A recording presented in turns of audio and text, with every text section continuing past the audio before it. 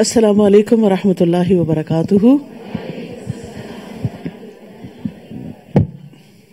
क्या हाल है सबका अल्हम्दुलिल्लाह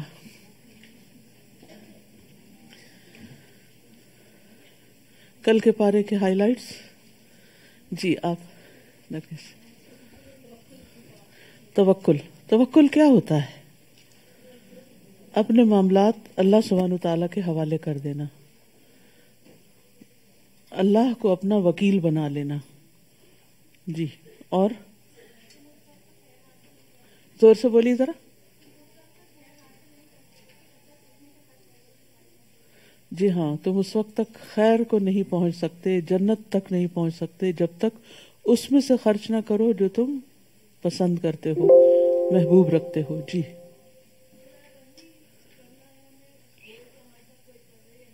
जी हाँ।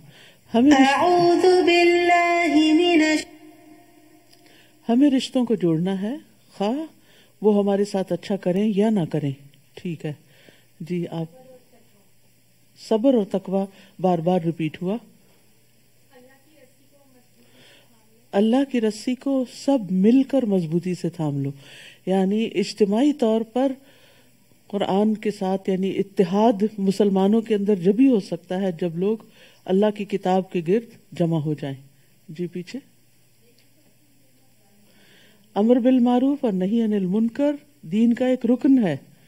जी। दाई जो दावत दे, देने वाला होता है दीन की वो नरम मिजाज होता है। अगर वो संग दिल हो बद मिजाज हो तो उसकी टीम के लोग उसके साथ नहीं चल सकते वो बिखर जाते हैं। जी। जी आप।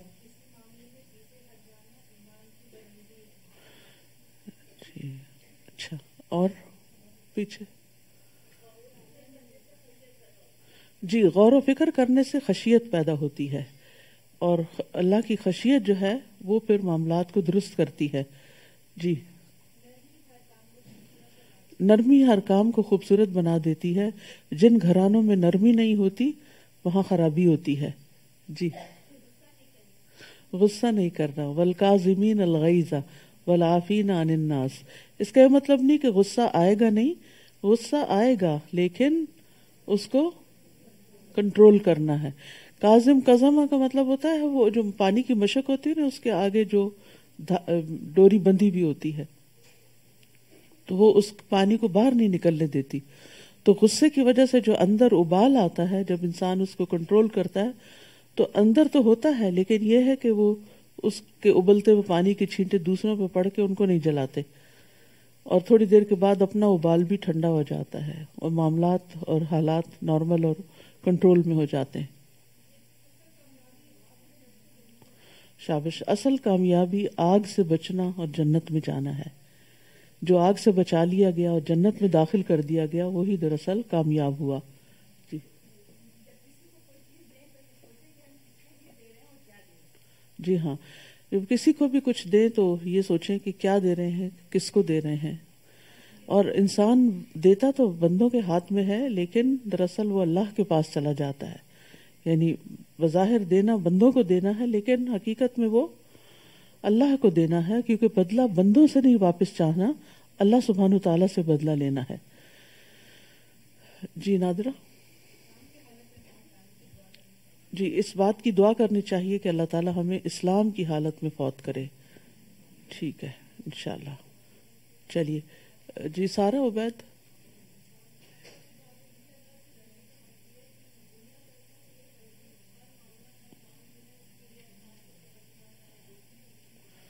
जी हाँ अल्लाह से डरने का मतलब ये है कि हर काम के वक्त ये देखा जाए कि अल्लाह ताला देख रहे हैं, ना कि लोगों का डर हमारे अंदर हो। चलिए, आगे चलते हैं, इंशाल्लाह।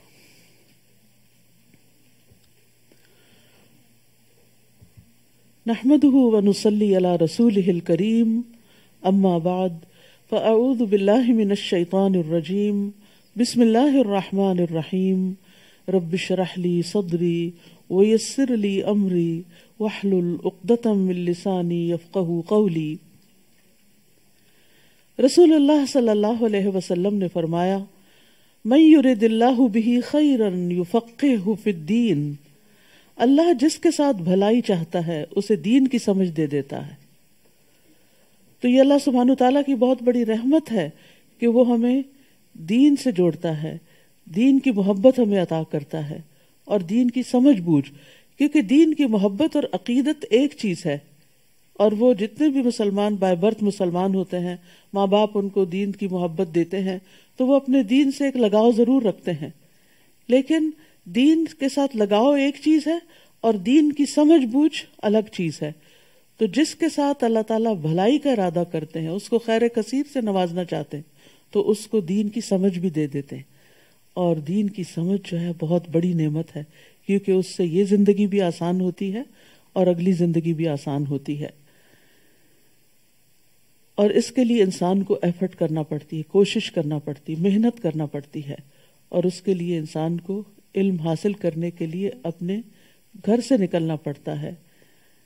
और जो शख्स इल्म हासिल करने के लिए निकले तो उसके बारे में हदीस में आता है, जिर बिन हुबैश कहते हैं, मैं सफवान बिन असाल की खिदमत में हाजिर हुआ। सफवान बिन असाल की खिदमत में हाजिर हुआ। उन्होंने फरमाया, कैसे आए? मैंने कहा, इल्म हासिल करने के लिए। तो उन्होंने कहा मैंने रसूलुल्लाह सल्लल्लाहु अलैहि वसल्लम को ये फरमाते हुए सुना है कि जो शख्स भी इल्म की तलब में अपने घर से निकले, फरिश्ते उसके अमल को पसंद करने की वजह से उसके लिए अपने पर फैला देते हैं। यानी घर से निकल कर कोशिश करके इल्म की मजलिस में हाजिर होना, ये बहुत बड़ी रहमत का सबब है और फरिश्तों जैसी मखलूक ऐसे इंसानों के आगे झुकती है और उनके लिए पर फैलाती है उनको इज़्ज़त देने के लिए, उनकी वक़्त और उनकी तोखीर के लिए। कुरान मजीद में अल्लाह ताला फरमाते हैं आमनू मिनकुम दरजात। अल्लाह उन लोगों को दर्जों में बुलंद करेगा जो तुम में से ईमान लाए और जिन्हें इल्म अता किया गया। यानी ईमान में तो बहुत से लोग मुश्तरक होते हैं, लेकिन जो जो इल्म हासिल करते जाते हैं, ईमान के दर्जे भी बढ़ते हैं। और जो जो इल्म के दर्जे बढ़ते हैं, ईमान के दर्जे बढ़ते हैं तो इंसान अल्लाह सुबहान तला के करीब होता चला जाता है। तो असल इज़्ज़त इंसान को माल से नहीं मिलती, दुनिया के किसी और जाहो वकार से नहीं। अल्लाह के यहाँ इज़्ज़त इंसान को तकवा की वजह से मिलती है और तकवा इल्म के साथ आता है। तकवा अल्लाह के डर का नाम भी है और इन नमा मिन इबादीलमा अल्लाह से डरते हैं उसके इल्म वाले बंदे। अबू हुरारा रज़ी अल्लाह कहते हैं, मैंने रसूल अल्लाह से सुना, आप फरमा रहे थे, खबरदार, बेशक दुनिया मलून है और उसकी तमाम चीज़ें मलून हैं, यानी अल्लाह की रहमत से दूर करती हैं। अलबत् अल्लाह का ज़िक्र और उसकी मुआविन चीज़ें, और आलिम या मुतालिम, यानी ये अल्लाह की रहमतों में है। इंसान सीखने वाला हो या फिर सिखाने वाला हो? तो अल्लाह सुबहान ताला हमें इसकी तोफ़ी अता फरमाए और मैं बहुत अप्रिशिएट करती हूँ उन खातन को जो सुबह सवेरे अपने काम निपटा कर दूर दूर से सफ़र करके यहाँ तक पहुँचती हैं। कल ही मुझे पता चला कि जब स्कारब्रो के लोग पहुँचते हैं तो ऑलरेडी पौने तीन हो चुके होते हैं और फिर वहाँ से उतर के दोबारा जो अगली बसेज लेते हैं तो घर पहुँचते उनको कितना वक्त लग जाता होगा। लेकिन ये इल्म का शौक है जो उन्हें यहाँ तक लेकर आता है। अल्लाह ताला इस्तकामत दे और बाकी भी जो लोग मुख्तलिफ जगहों से आ रहे हैं अल्लाह सुबहान ताला उनका आना भी कबूल करे और हर हर कदम पर फरिश्ते पर बिछाएं और आपके दर्जात बुलंद होते चले जाएं पांचवा पारा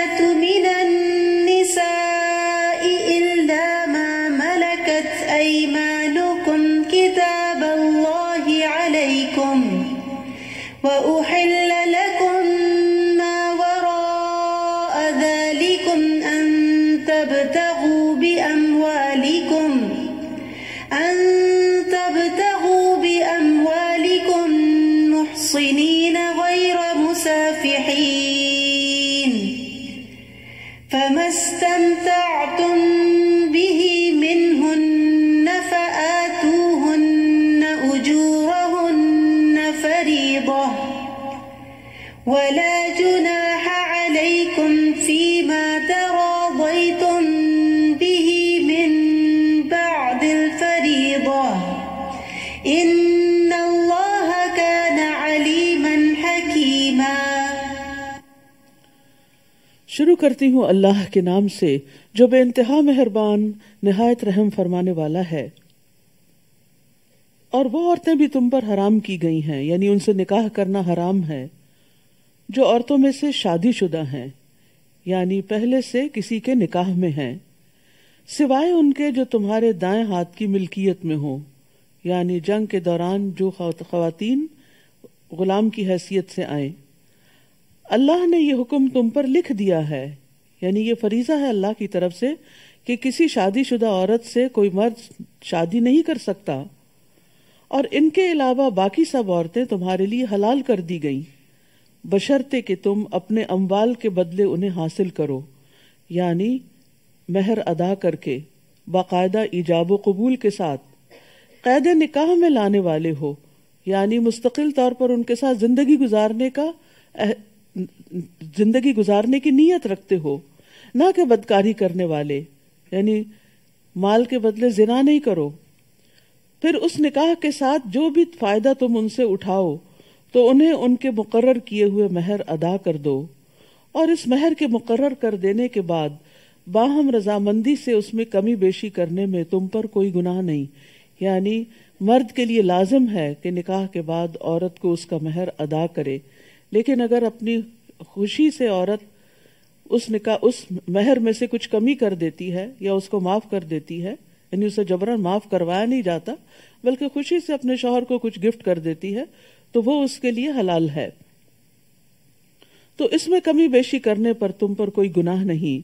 बेशक अल्लाह बहुत इल्म वाला, बहुत हिकमत वाला है।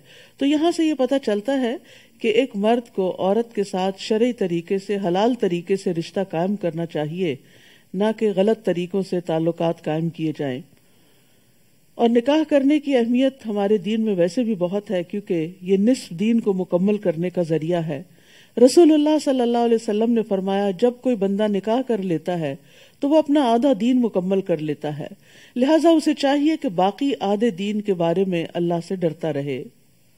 और जो कोई तुम में से आज़ाद मोमिन औरतों से निकाह करने की वसत न रखता हो तो मोमिन लौंडियों में से जो तुम्हारे दाएँ हाथ की मिल्कियत हैं, निकाह कर ले।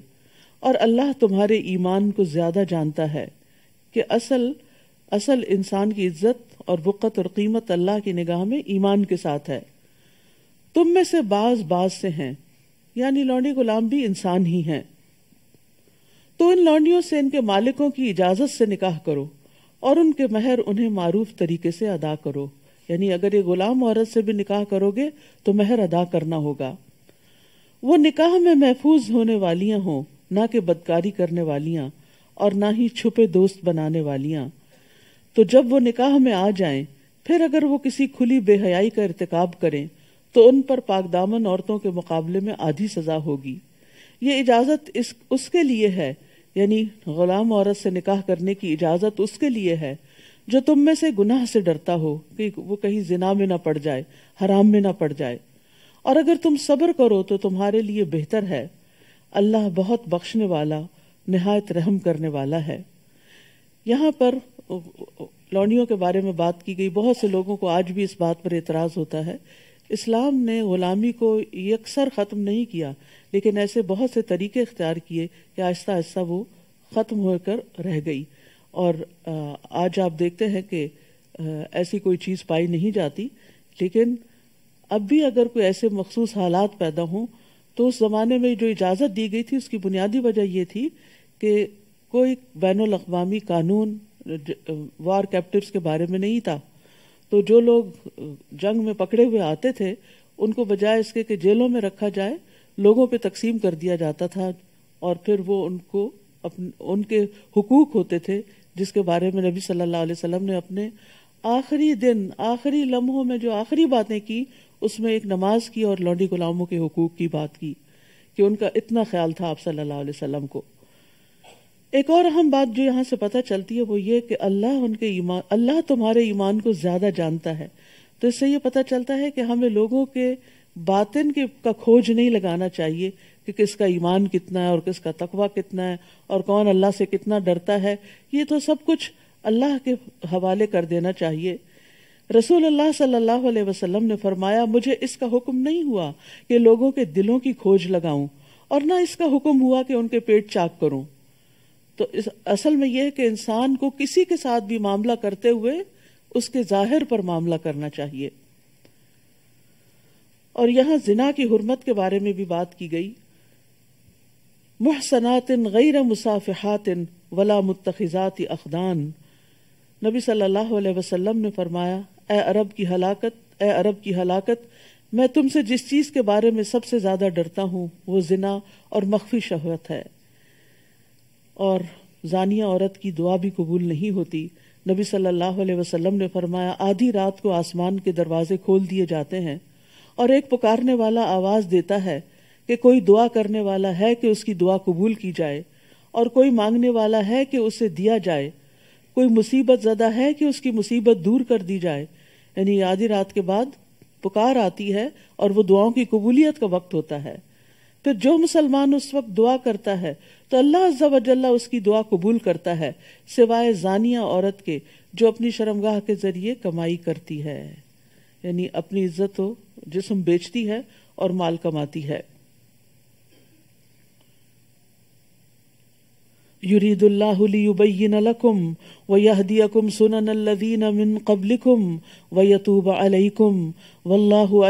हकीम। अल्लाह चाहता है कि वो तुम्हारे लिए अहकाम खूब वाजे कर दे और तुमसे पहले नेक लोगों के तरीकों की तरफ़ तुम्हारी रहनुमाई करे और तुम पर मेहरबान हो और अल्लाह बहुत इल्म वाला बहुत हिकमत वाला है। और अल्लाह चाहता है कि वो तुम पर मेहरबान हो और जो लोग ख्वाहिशात की पैरवी करते हैं, वो चाहते हैं कि तुम सीधे रास्ते से इनहराफ करके गुमराह लोगों की तरफ़ खूब माइल हो जाओ। तो इससे ये पता चलता है कि अल्लाह सुबहान तला जो जो अहकाम हमें दिए हैं, उनमें बज़ाहिर कुछ पाबंदियाँ भी महसूस होती हैं, लेकिन ये पाबंदियाँ दरअसल आसानियाँ लाती हैं और बहुत सी आज़ादियाँ इंसानों के लिए मुश्किल पैदा कर देती हैं। और अल्लाह चाहता है कि वो तुम पर मेहरबान हो। युरीदुल्लाकुम वखुलकल इंसान अल्लाह चाहता है कि वो तुमसे बोझ हल्का कर दे और इंसान बहुत कमज़ोर पैदा किया गया है। या अय्युहल्लज़ीना आमनू, ला ए लोगो जो ईमान लाए हो, अपने मालों को आपस में बातिल तरीके से न खाओ। यानी माल कमाने के गलत तरीके इख्तियार न करो। चोरी, डाका, गसब यतीमों का माल लूट लेना। तो इस तरीके के तमाम माल हथियाने के तरीके बातिल तरीके हैं। मगर ये कि बाहमी रजामंदी से तिजारत हो और तुम अपने आप को कत्ल ना करो। यानी एक दूसरे को भी कत्ल ना करो, किसी मुसलमान भाई को कत्ल करना ऐसे ही जैसे खुद को कत्ल करना, क्योंकि फिर बदले में इंसान कत्ल भी किया जाता है। और दूसरे ये कि सुइसाइड की ममानियत है यहाँ। खुदकुशी जो है वो कबीरा गुनाहों में से एक है और खुदकुशी करने वाला जो है वो क़यामत के दिन और फिर हिसाब किताब के बाद अगर अल्लाह ताला उसको जहन्नम में भेज दें तो मुसलसल जहन्नम में जलने के साथ साथ उस आले से या उस तरीके से अपने आप को बार बार मारने की कोशिश करेगा, जिस तरह उसने खुद को दुनिया में मारा। बेशक अल्लाह तुम पर नहायत मेहरबान है याद रखिए, इस ज़िंदगी की कीमत पहचानिए, इस ज़िंदगी की कदर कीजिए। ये वक्त कमाने का है, आखिरत बनाने का है। इसमें मुश्किलात आती हैं तो उसमें मायूस ना हो और अपने आप को खत्म ना कर दें, क्योंकि अब तो कहते हैं कि मर जाएँगे मर जाएँगे। मर के भी चैन ना पाया तो किधर जाएँगे? अगर मरने के बाद भी मसाइल कम न हुए और बढ़ गए, मुसीबत और ज़्यादा हो गई तो फिर कहाँ जाएँगे? फिर तो अपनी कोई आज़ादी भी नहीं होगी कि एक दफ़ा फिर से खुद को खत्म कर दिया जाए। और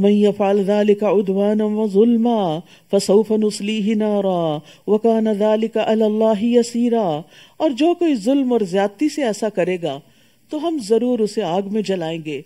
और ये अल्लाह पर बहुत आसान है। अगर तुम इन बड़े बड़े गुनाहों से बचते रहोगे, जिनसे तुम रोके जाते हो तो हम तुम्हारी बुराइयाँ तुमसे दूर कर देंगे। और तुम्हें मकाम इज़्ज़त, यानी जन्नत में दाखिल करेंगे। तो यहाँ कबीरा गुनाहों से बचने का हुक्म दिया जा रहा है। इब्ने अब्बास कहते हैं कि हर वो गुनाह कबीरा है, जिसको अल्लाह ने जहन्नम की वईद, या लानत, या गजब की वईद पर खत्म किया। यानी जिस गुनाह पर जहन्नम का, की सजा बताई गई, या जिस गुनाह पर लानत की गई, वो कबीरा गुनाह है। अल्लाह के रसूल सल्लल्लाहु अलैहि वसल्लम ने कुछ कबीरा गुनाहों का ज़िक्र किया है। उसमें एक अल्लाह के साथ शिरक करना, ये सबसे बड़ा कबीरा गुनाह है, जिसकी माफ़ी ही नहीं। फिर वालदेन की नाफरमानी करना। फिर आप तकिया लगाए हुए थे, फिर उठ बैठे और फरमाया, खबरदार और झूठी गवाही देना। फिर मुसलसल उसी की तकरार करते रहे, यहाँ तक कि हम लोग कहने लगे, काश आप खामोश हो जाएँ। इसी तरह एक और रिवायत में आप सल्लल्लाहु अलैहि वसल्लम ने फरमाया, सात हलाकत खेज गुनाहों से बचो। साहबा ने अर्ज़ किया, अल्लाह के रसूल वो क्या है? आपने फरमाया, अल्लाह के साथ शरीक ठहराना, जादू करना, किसी जान को कत्ल करना जिसे अल्लाह ने हराम ठहराया, मगर हक के साथ जायज़ है। सूद खाना, यतीम का माल हड़प करना, लड़ाई के दिन पीठ फेर कर भाग जाना और पाक दामन ईमान वाली, भोली भाली खवातीन पर जिना की तोमत लगाना। यानी मासूम खवातीन के अगेंस्ट कोई स्कैंडल खड़े कर देना। तो याद रखिए, तोहीद उस वक्त फ़ायदा देती है जब ला ला उस वक्त फ़ायदा देता है जब कबायर से बचा जाए। रसूलुल्लाह सल्लल्लाहु अलैहि वसल्लम ने फरमाया, जब कोई बंदा खुलू से दिल से ला इल्लल्लाह कहेगा और कबायर से बचता रहे, यानी कबीरा बड़े बड़े गुनाहों से बचता रहेगा तो उसके लिए आसमान के दरवाजे खोल दिए जाएँगे और ये कलमा ला अर्श तक जा पहुंचेगा। इसी तरह फराइज उस वक्त कफारा बनेगे गुनाहों का, जब बंदा कबीरा गुनाहों से बचता है। रसूलुल्लाह सल्लल्लाहु अलैहि वसल्लम ने फरमाया, पाँच नमाजें और एक जुमा से दूसरे जुमा तक और रमज़ान से रमज़ान तक अपने दरमियान सरजद होने वाले गुनाहों के लिए कफारा बन जाते हैं जब तक के कबीरा गुनाहों से बचा जाए। यानी हम कहते हैं ना वज़ू करने से सारे गुनाह धुल जाते हैं। अगर कबीरा गुनाहों से बचेंगे। इसी तरह रमज़ान से रमज़ान तक के बीच के गुनाह जो है रम, अगले रमज़ान में माफ़ हो जाते हैं। अगर कबीरा गुनाहों से बचेंगे। रसूलुल्लाह सल्लल्लाहु अलैहि वसल्लम ने फरमाया इज्तनिबुल कबाइरा वसद्दिदु व अबशिरू। कबीरा गुनाहों से इज्तनाब करो और सीधे रहो और खुश हो जाओ। वला ततमन्नऊ मा फद्दल अल्लाह बिही बादकुम अला बाद और न तुम उस चीज़ की तमन्ना करो, जिसके साथ अल्लाह ने तुम में से बाज को बाज पर फजीलत अता की। यानी अल्लाह सुबहान तआला ने इंसानों के अंदर इख्तिलाफ रखा है। बाज को बाज के मुकाबले में ज़्यादा क्वालिटीज दी हैं। लेकिन इसका ये मतलब नहीं कि बाज को बिल्कुल महरूम रखा है, उन्हें कुछ और चीज़ों में खैर अता की है। तो हर शख्स के कुछ स्ट्रेंथ्स होती हैं और कुछ वीकनेसेस होती हैं। लिहाजा हमें यह नहीं करना चाहिए कि जो किसी की स्ट्रेंथ हो, उस पर एनवी करें और अपनी स्ट्रेंथ को उसमें भूल ही जाएँ। मर्दों के लिए उसमें से हिस्सा है जो उन्होंने कमाया और औरतों के लिए उसमें से हिस्सा है जो उन्होंने कमाया। यानी असल चीज़ तो ये देखी जाएगी कि तुम करके क्या आए हो। ना कि ये देखा जाएगा कि किसको कितनी ज़्यादा कौन सी क्वालिटीज मिली थी। देखा जाएगा कि उन क्वालिटीज को, उन स्ट्रेंथ्स को उसने किस खैर के काम में लगाया। और अपने लिए क्या कमा के लाया? और अल्लाह से उसके फजल का सवाल करो। बेशक अल्लाह हर चीज़ को खूब जानने वाला है। यानी इंसान लोगों के, लोगों को मिलने वाली नेमतों पर जलने, कुड़ने और हसद करने की बजाय अल्लाह से उसका फजल मांगे कि अल्लाह तूने इसको अता किया तो मुझे भी अता कर सकता है। तू मुझे अता कर। लेकिन सिर्फ़ इंसान कंपेयर करता रहे, अपने बच्चे को किसी के बच्चे के साथ, अपने आप को किसी और के साथ, अपने शोहर को किसी और के शोहर के साथ तो सिवाय हसरतों के कुछ हासिल नहीं होगा। क्योंकि हम उनकी सिर्फ़ जाहिरी कुछ खूबियाँ देख रहे होते हैं और उनके जो छुपे हुए ऐब है वो हमें नहीं पता होते। तो इसलिए कभी भी ये नहीं कहना चाहिए कि मैं, मेरा बच्चा फुलां के बच्चे की तरह हो जाए, या मैं फुलां की तरह हो जाऊँ। नहीं, अल्लाह से फजल मांगती या अल्लाह तो अपनी निगाहों में बड़ा कर दे। और तू अपने फजल से नेमतें अता कर दे। क्योंकि ये हसरत जो होती है कि मैं फलां की तरह क्यों नहीं, ये हसद की राह हमवार करती है। और फिर दूसरे की नेमत के जवाल की तमन्ना करती है, जो कि एक हराम फेल है। और ये दिल की ऐसी कमाई है जिस पर पूछ होगी। इसलिए अल्लाह का फजल मांगना चाहिए। और यह भी कहा गया कि इस आयत का सबब नजूल ये है कि बाज औरतों ने कहा, काश हम वरासत में मर्दों के बराबर होती और जिहाद में उनके साथ शरीक होती। तो ये आयत उन्हें इस चीज़ से मना करने के लिए नाजिल हुई कि मर्दों की बराबरी की ख्वाहिश करना अल्लाह के हुक्म को रद्द करना है। क्योंकि औरतों की अपनी कुछ स्ट्रेंथ्स हैं, उनके अपने कुछ ऐसे काम और मौाक़े हैं जिनसे उनके दर्जात बुलंद होते हैं। मसलन, माँ की हैसियत से एक औरत का दर्जा और मकाम बाप के मुकाबले में, मर्द के मुकाबले में तीन गुना ज़्यादा है। सबसे ज़्यादा हुसन सलूक माँ के साथ करने को कहा गया है। इसी तरह माँ जो बच्चों को जन्म देती है और जो दूध पिलाती है और जो तरबियत देती है, उसमें जितना ज़्यादा उसका हिस्सा होता है, उतना ही ज़्यादा उसका अजर सवाब भी होता है। लिहाजा एक दूसरे के मुकाबले पर रहने से इंसान के अंदर सिवाय हसरतों के कुछ पैदा नहीं होता। और बाद स्टडीज़ भी इस चीज़ को ज़ाहिर करती है कि जब से ये सोशल मीडिया बहुत आम हुआ है और हम सिर्फ़ अपने आसपास के लोगों को ही नहीं देखते, दुनिया भर में बैठे हुए लोगों के फिगर्स देख रहे हैं, उनके माल और दौलत और कहाँ जाते हैं, किन रेस्टोरेंट्स में जाते हैं, क्या खाते हैं। इन चीज़ों ने लोगों का एंग्जाइटी और डिप्रेशन और ज़्यादा बढ़ा दिया है, क्योंकि मुसलसल अपनी हालत को उनके साथ कंपेयर करते रहते हैं। तो इस चीज़ से बचना चाहिए। जहाँ किसी की कोई खूबी, कोई नेमत दिल को लगे, वहाँ अल्लाह से दुआ करें। कि अल्लाह तू अपने फजल से मुझे भी अता कर। और ये चीज़ इंसान के अंदर एक कंटेंटमेंट पैदा कर देगी। और वैसे भी अल्लाह की रजा पे राज़ी होना ही इंसान को राज़ी करता है। और इस तरके में से जो वालदेन और करीबी रिश्तेदार छोड़ जाएँ, हमने हर एक के वारिस मुकर कर दिए हैं। और जिन्हें तुम्हारे अहदो पैमान ने तुमसे बाँध रखा, यानी तुम्हारे हलीफ तो तुम उन्हें भी उनका हिस्सा दे दो। बेशक अल्लाह हर चीज़ पर खूब गवाह है।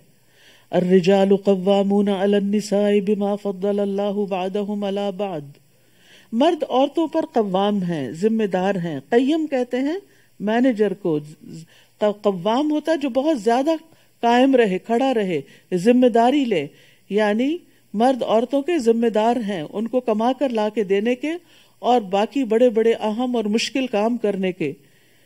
कि अल्लाह ने उनमें से बाज को बाज पर फजीलत दी। इसका ये मतलब नहीं सिर्फ़ मर्दों को ही फजीलत दी है, औरतों को। बाज को बाज पर, बाज मर्द तकवा में औरतों से बढ़कर हैं और बाज औरतें तकवा और दीनदारी में मर्दों से भी बढ़कर होती हैं। और इस वजह से भी कि वो अपने माल खर्च करते हैं। यानी अल्लाह ने मर्द को कव्वाम क्यों बनाया, जिम्मेदार क्यों बनाया, कि उसको कमाने की ज़िम्मेदारी थी और कहा कि वो बीवी पर खर्च करे। बस नेक औरतें फर्मा बरदार होती हैं। औरतों की बड़ाई और खूबी किस चीज़ में है? इतात गुजारी में। अपनी इज़्ज़त और शोहर के माल की गायबाना हिफाजत करने वाली हैं। इस वजह से कि अल्लाह ने इनके हुकूक की हिफाजत की। और वो औरतें जिनकी सरकशी से तुम डरते हो, बस तुम उन्हें नसीहत करो। और नशूज का यहाँ माना यह आम छोटी मोटी बातों में डिसग्री करना नहीं है। इससे मुराद किसी औरत का अपने शोहर से बेवफाई करना और अपने शोहर की बजाय किसी और की तरफ़ रागिब होना। तो फिर घर टूटता है, घर के अंदर फसाद होता है, बहुत बिगाड़ आ सकता है। आइंदा नस्ल मुतासर हो सकती है। लिहाजा इस मामले को ऐसे ही छोड़ नहीं देना चाहिए, बल्कि इसलाह करनी चाहिए। इसलाह के लिए पहला स्टेप नसीहत है। न माने तो बिस्तरों में उन्हें अलहदा कर दो, यानी उनसे थोड़ी नाराज़गी का इजहार कर दो, उनको अपने से डिस्टेंस कर दो। फिर भी ना माने तो उन्हें हल्की सी मार मारो, यानी और इसका ये मतलब नहीं कि अब्यूज किया जाए उनको। इब्ने अब्बास ये कहते हैं कि जैसे एक मिसवाक होता है, यानी एक शौक देने के लिए कि देखो तुम क्या कर रही हो? होश में आओ अपने घर और अपनी इज़्ज़त और अपने अपनी नस्लों की हिफाजत करो यानी उसको अपने ट्रैक पे वापस लाने के लिए। और नबी सल्लल्लाहु अलैहि वसल्लम ने वाज तौर पर फरमाया कि, कि तुम में से बेहतरीन कभी भी नहीं मारेंगे औरतों को। यानी ये एक सिर्फ़ सोल्यूशन बताया गया है इंतहाई एक्सट्रीम केसेस में बिल्कुल ऐसे ही जैसे ऑपरेशन या सर्जरी की ज़रूरत होती है इंतहाई एक्सट्रीम केस में कि जब किसी दवा से किसी फोड़े का इलाज नहीं होता, या किसी चीज़ का तो फिर उसको काट के अलग किया जाता है। फिर अगर वो तुम्हारी इतात करने लगे तो उनको सताने का कोई रास्ता तलाश मत करो। यानी औरतों को सताना नोबल मर्दों का काम नहीं होता। बेशक अल्लाह बहुत बुलंद, बहुत बड़ा है। अगर तुम औरत को कमज़ोर समझ के उस पर जुल्म करोगे तो अल्लाह तुमसे बड़ा है, वो तुमसे पूछेगा। और यहाँ नेक बीवी की जो खूबियाँ बताई गई, वो क्या है? रसूलुल्लाह सल्लल्लाहु अलैहि वसल्लम ने फरमाया, दुनिया फ़ायदे की चीज़ है और दुनिया की बेहतरीन मता नेक औरत है। रसूलुल्लाह सल्लल्लाहु अलैहि वसल्लम ने फरमाया, चार चीज़ें खुशबख्ती की अलामत हैं। नेक बीवी, खुला घर, नेक हमसाया, अच्छी सवारी। और चार चीज़ें बदबख्ती की अलामत हैं, बुरा हमसाया, बुरी बीवी, तंग घर और बुरी सवारी। और यहाँ नेक खवातीन की एक खास खूबी बताई गई कि वो शोहरों की गैर मौजूदगी में शोहर की इज़्ज़त, घर, बार, माल, औलाद की हिफाजत करने वाली होती। यानी जो चीज़ें उनकी कस्टडी में हैं, उनकी टेक केयर करती हैं। रसूलुल्लाह सल्लल्लाहु अलैहि वसल्लम ने फरमाया, बेहतरीन बीवी वो है, जिसकी तरफ़ तुम देखो तो तुम्हें खुश कर दे। स्माइलिंग हो, हैप्पी हो, हर वक्त शिकवे शिकायतें नहीं, हर वक्त मुँह बसोर के और नाराज़गी का इजहार नहीं करना, हर वक्त थके थके नहीं नज़र आना। और जब तुम किसी बात का हुक्म दो तो बजा लाए, और तुम्हारी गैर मौजूदगी में तुम्हारे माल अपनी और अपनी जात की हिफाजत करे। रसूलुल्लाह सल्लल्लाहु अलैहि वसल्लम ने फरमाया, बेहतरीन औरतें ऊंटों पे सवार होने वाली हैं, वो कुरैश की नेक औरतें हैं। यानी उस जमाने में जो सबसे बेहतरीन औरतें थी, उनकी बात की गई, छोटे यतीम बच्चों पर सबसे ज़्यादा मेहरबान हैं। यानी अगर शोहर फौत भी हो जाए तो अपने बच्चों की खातिर अपनी ज़िंदगी कुर्बान कर देती हैं और अपने खामदों के माल की ज़्यादा हिफाजत करने वाली हैं। तो ये दो चीज़ें, औलाद और माल की हिफाजत करना, ये औरत की ज़िम्मेदारी है और सिर्फ़ शोहर से जिद में आके बच्चों की पिटाई कर देना या फिर ये कि माल को बेवजह जाया करना कि मुझे परवाह नहीं, ठीक है, और कमाए और ख्वार हो, मैं अपना बदला इस तरह चुकाऊँगी। तो ये नेक औरतों का काम नहीं होता। अगर आपस के कुछ इश्यूज़ हो एक दूसरे से कुछ यानी कि कुछ चीज़ें इख्तलाफी हो तो उनको बैठकर सुलझा लेना चाहिए सॉल्व कर लेना चाहिए ना कि एक दूसरे को नुकसान देना और घरों बा, घर बार और नस्लों को नुकसान देना। ये फिर जहाँ जुल्म होगा अल्लाह उसको जो भी करेगा उसको पूछेगा। फिर फरमाया और अगर तुम्हें इन दोनों मियाँ बीवी के दरमियान शदीद इख्तलाफ का डर हो यानी नहीं सॉल्व हो रहे इश्यूज़ आपस में, नहीं रिजॉल्व हो रही मुश्किलात। तो फिर क्या करो? तो एक मुनसिफ उस मर्द के घर वालों में से और एक मुनसिफ उस औरत के घर वालों में से मुकर्र कर लो। अगर वो दोनों इसलाह चाहेंगे तो अल्लाह उन दोनों के दरमियान मुआफकत पैदा कर देगा। मियाँ बीवी के झगड़े में जो जो चीज़ आपस की मुआफकत का सबब बनती है, वो नीयत है। जो घर बसाना चाहेगा जो एक दूसरे के साथ चलना चाहेगा, अल्लाह ताला उनके दिलों में मुआफकत पैदा कर देगा। लेकिन अगर बसने की नीयत नहीं है बसाने की नीयत नहीं और पीछे से भी उकसाया जा उकसाया जा रहा है, कोई ज़रूरत नहीं रहने की, वापस आ जाओ, हम, हमारे पास कमी नहीं है, हम तुम्हारा ख्याल रख सकते हैं। तो फिर क्या होगा? फिर घर नहीं बनते। क्योंकि हर हर शौहर और बीवी के दरमियान कुछ ना कुछ इख्तलाफ। सबसे पहले तो ये कि मर्द और औरत दो मुख्तलिफ़ चीज़ें, यही बहुत बड़ा इख्तलाफ है। फिर उसके बाद सोच का इख्तलाफ होता है। फिर उसके बाद पसंद, नापसंद का होता है। बैकग्राउंड का होता है। बहुत सारी चीज़ें इख्तलाफ का सबब होती है। तो ये इख्तलाफ जो है, ये अल्लाह सुबहान तला का एक तरीका है कायनात के अंदर। हर चीज़ के अंदर इख्तलाफ है। कोई दरख्त बहुत बड़े और घास जितना भी अरसा उसको पानी देते रहे, वो घास ही रहेगी। वो बड़ी नहीं हो सकती और उसका हुसन घास रहने में ही है, ना कि दरख्त बनने में। जरा सा ऊँचा होता तो क्या कर देते हैं? उसको काट देते हैं क्योंकि उसकी खूबसूरती बिछने में है। तो इसी तरह हर एक का मुख्तलिफ़ रोल होता है सोसाइटी के अंदर। तो इसलिए इंसान को असल चीज़ ये कि बना के रखने की नीयत और इरादा रखना चाहिए तो अल्लाह सुबहान तला भी आसानियाँ पैदा कर देता है। बेशक अल्लाह खूब इल्म वाला, खूब खबर रखने वाला है।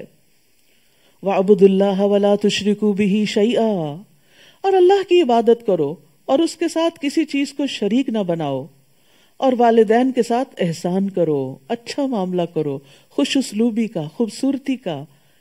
और रिश्तेदारों और यतीमों और मिसकीनों और रिश्तेदार पड़ोसी और अजनबी पड़ोसी और पहलू के साथी। पड़ोसियों का तो सबको पता है नेबर्स और खसूसन उसका हक ज़्यादा है जो नेबर भी हो और रिश्तेदार भी हो, उसके दो पॉइंट्स हो जाते हैं। उनका, उनके साथ एहसान का मामला करो। और जो साथ बैठा हो कहीं भी, चाहे किसी बस में, जहाज़ में, क्लास में, क्लिनिक पे, कहीं भी जो साथ बैठते हैं लोग, उनका भी हक होता है। सिर्फ़ ये नहीं कि चौड़े होकर बैठ जाएँ और सारी जगह अपने लिए, या उनको अपनी कोनियों से तकलीफ़ देते रहें, या अपना सामान उनकी तरफ़ कर दें। नहीं, जो अपने लिए पसंद करते हो, वो उनके लिए भी करो। और फिर खास तौर पर, पहलू के साथी में वो लोग भी आते हैं जिनके साथ आप मिलके काम करते हैं।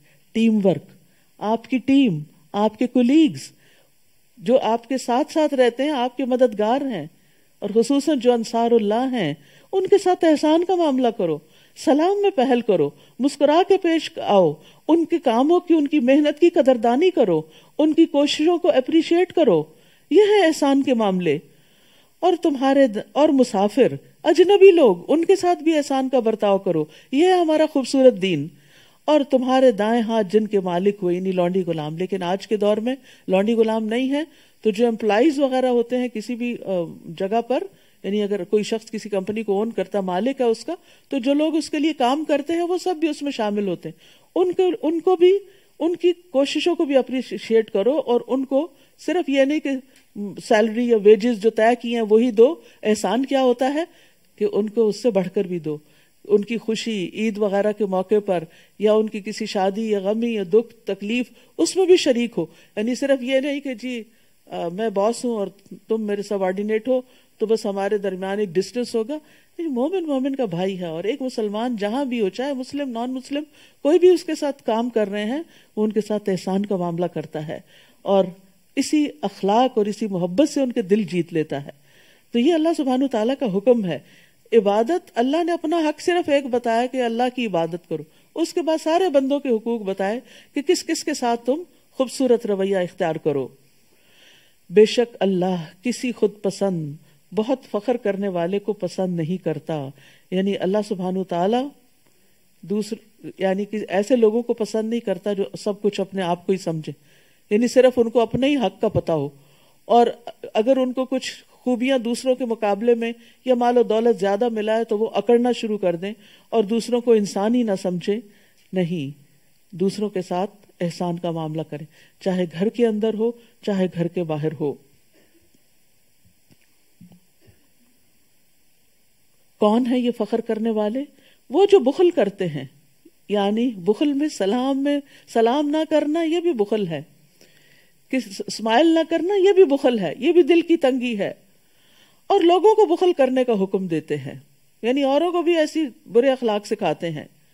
या फिर माल का बुखल, जो सबसे पहले आता है, कि खुद खर्च नहीं करते और अगर कोई और कर रहा हो तो उसको भी रोकते हैं। और अल्लाह ने जो कुछ अपने फजल से अता किया है, उसे छुपाते हैं। और हमने काफिरों के लिए रुसवाकुन अजाब तैयार कर रखा है। किस लिए छुपाते हैं? कि कोई मांग ना बैठे, कोई नज़र ना रखे, कि हमें भी कुछ अपने नेमतों में से हिस्सा दो। खासतौर पर रिश्तेदार। तो बुखल का ताल्लुक माली और कौली दोनों हकूक के साथ है। तो थुड़ दिल इंसान की कुरान मजीद में मजम्मत की गई है, यानी जो दिल का छोटा हो, जिसका दिल घुटा हुआ हो, और जो छोटी सी तकलीफ़ में घबरा उठे, और जब माल मिले तो बकील बन जाए।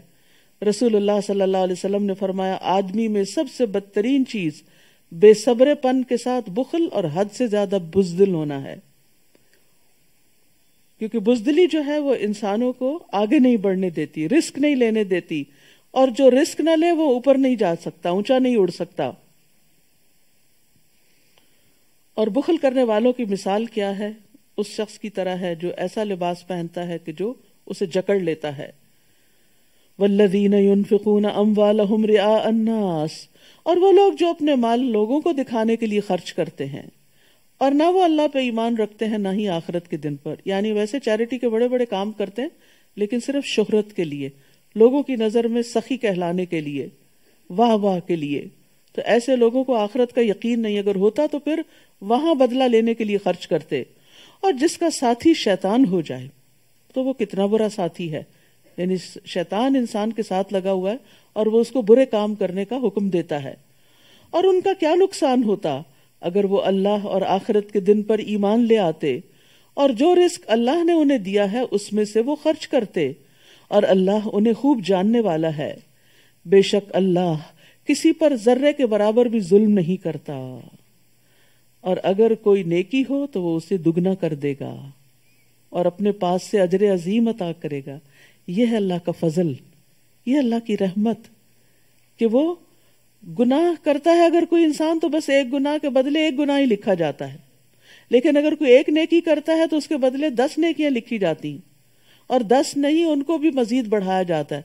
कुछ नेकियों का अजर सात सौ गुना, जैसे फ़ी सबील्ला माल खर्च करने का अजर। इसी तरह कुछ नेकियों का अजर सात हज़ार और लाख गुना भी है। और फिर यह कि रोजा, अल्लाह सुबहान ताला ने क्या फरमाया? कि रोजा मेरे लिए है। तुम नहीं उसका अजर लिखो।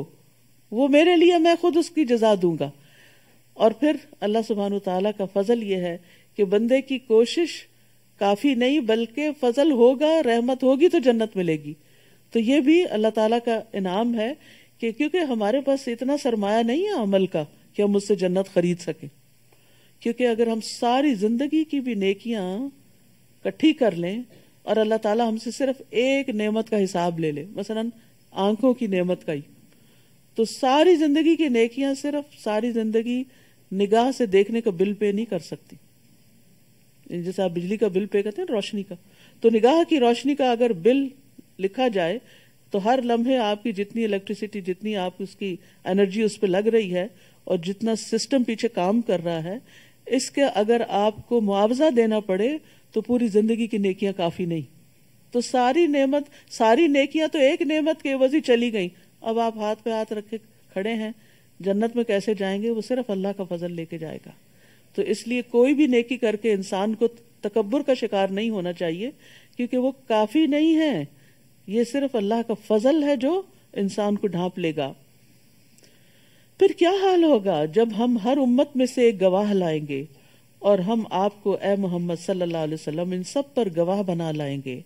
यानी आपको पिछली कौमों के बारे में, पिछले पैगम्बरों के बारे में जो तालीमत दी गई, उसकी बिना पर आप उन पैगम्बरों की तस्दीक करेंगे। उस रोज वो लोग जिन्होंने कुफर किया और रसूल की नाफरमानी की, रसूल की नाफरमानी, याद रखिए, यहाँ अल्लाह की नाफरमानी की बात नहीं हो रही वह असबुर रसूल की बात हो रही है। तो बाजू हम कहते हैं, ये कौन सा कुरान में लिखा हुआ है? नहीं रसूल अल्लाह सल्लल्लाहु अलैहि वसल्लम भी जिन बातों का हुक्म देते हैं, उनको भी सीरियसली लेना चाहिए और उनकी नाफरमानी नहीं करनी चाहिए। वो क्या चाहेंगे करने वाले? काश ज़मीन उन पे बराबर कर दी जाए। यानी वो इतने शर्मिंदा होंगे कि वो चाहेंगे कि ज़मीन फटे और उसमें दबा दिए जाएँ और वो अल्लाह से कोई बात छुपा ना सकेंगे। हकीकत यह है कि जो अल्लाह और उसके रसूल की नाफरमानी करता है वो वाज गुमराही में मुबतला हो जाता है। वह मैयासिल्ला व रसूल फ़कत दल्ला दलाल मुबीना।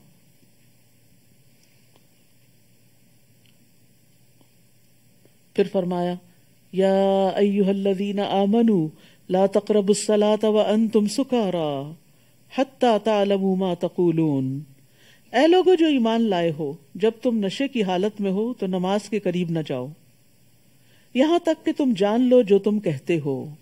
इसीलिए शदीद नींद की हालत में भी नमाज़ नहीं पढ़नी चाहिए, क्योंकि इंसान के मुँह से कुछ से कुछ निकलने लगता है। और ना ही हालत जनाबत में नमाज़ पढ़ो, नापाकी की हालत में बड़ी नापाकी की तरफ़ इशारा है।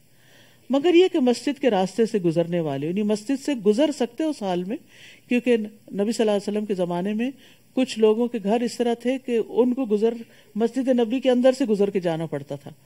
तो उनको इजाज़त दी गई कि अगर वो पाक नहीं और उन्हें सिर्फ़ गुजरने की ज़रूरत है तो वो गुजर सकते हैं। यहाँ तक कि गुसल कर लो, यानी नमाज़ अदा करने के लिए, इबादत के लिए गुसल करना ज़रूरी है। और अगर तुम बीमार हो, या सफ़र पर हो, या तुम में से कोई एक कज़ाय हाजत से आए, या तुमने औरतों को छुआ हो, यानी सोहबत की हो, फिर तुम पानी ना पाओ। यानी गुसले जनाबत लाजिम है, वज़ू की ज़रूरत है, नमाज़ का वक्त आ गया है पानी कोई नहीं, अब कैसे नहाए? क्या नमाज़ छोड़ दें? नहीं तो पाक मट्टी से तयम्मुम कर लो। इन सारी हालतों में, इन सारी नापाकियों को सिर्फ़ तयम्मुम से पाक किया जा सकता है और इबादत अदा की जा सकती है।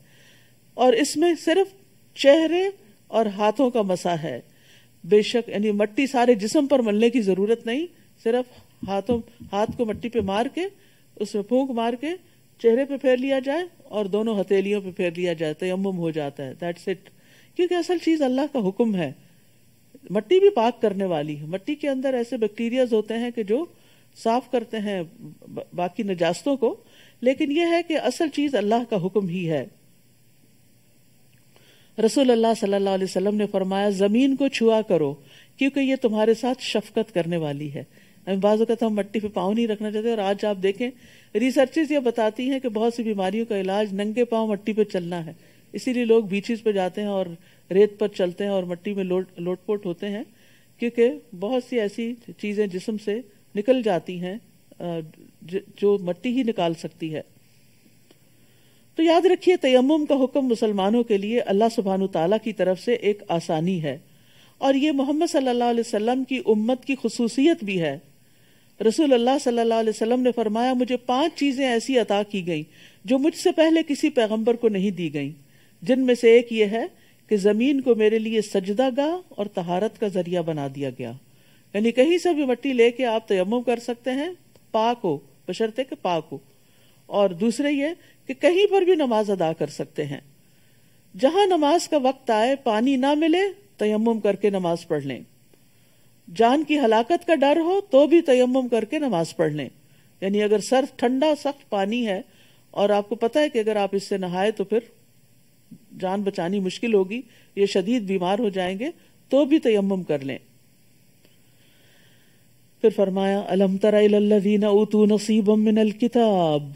क्या आपने उन लोगों की तरफ़ नहीं देखा जो किताब का एक हिस्सा दिए गए? वो गुमराही खरीदते हैं और चाहते हैं कि तुम भी सीधे रास्ते से भटक जाओ।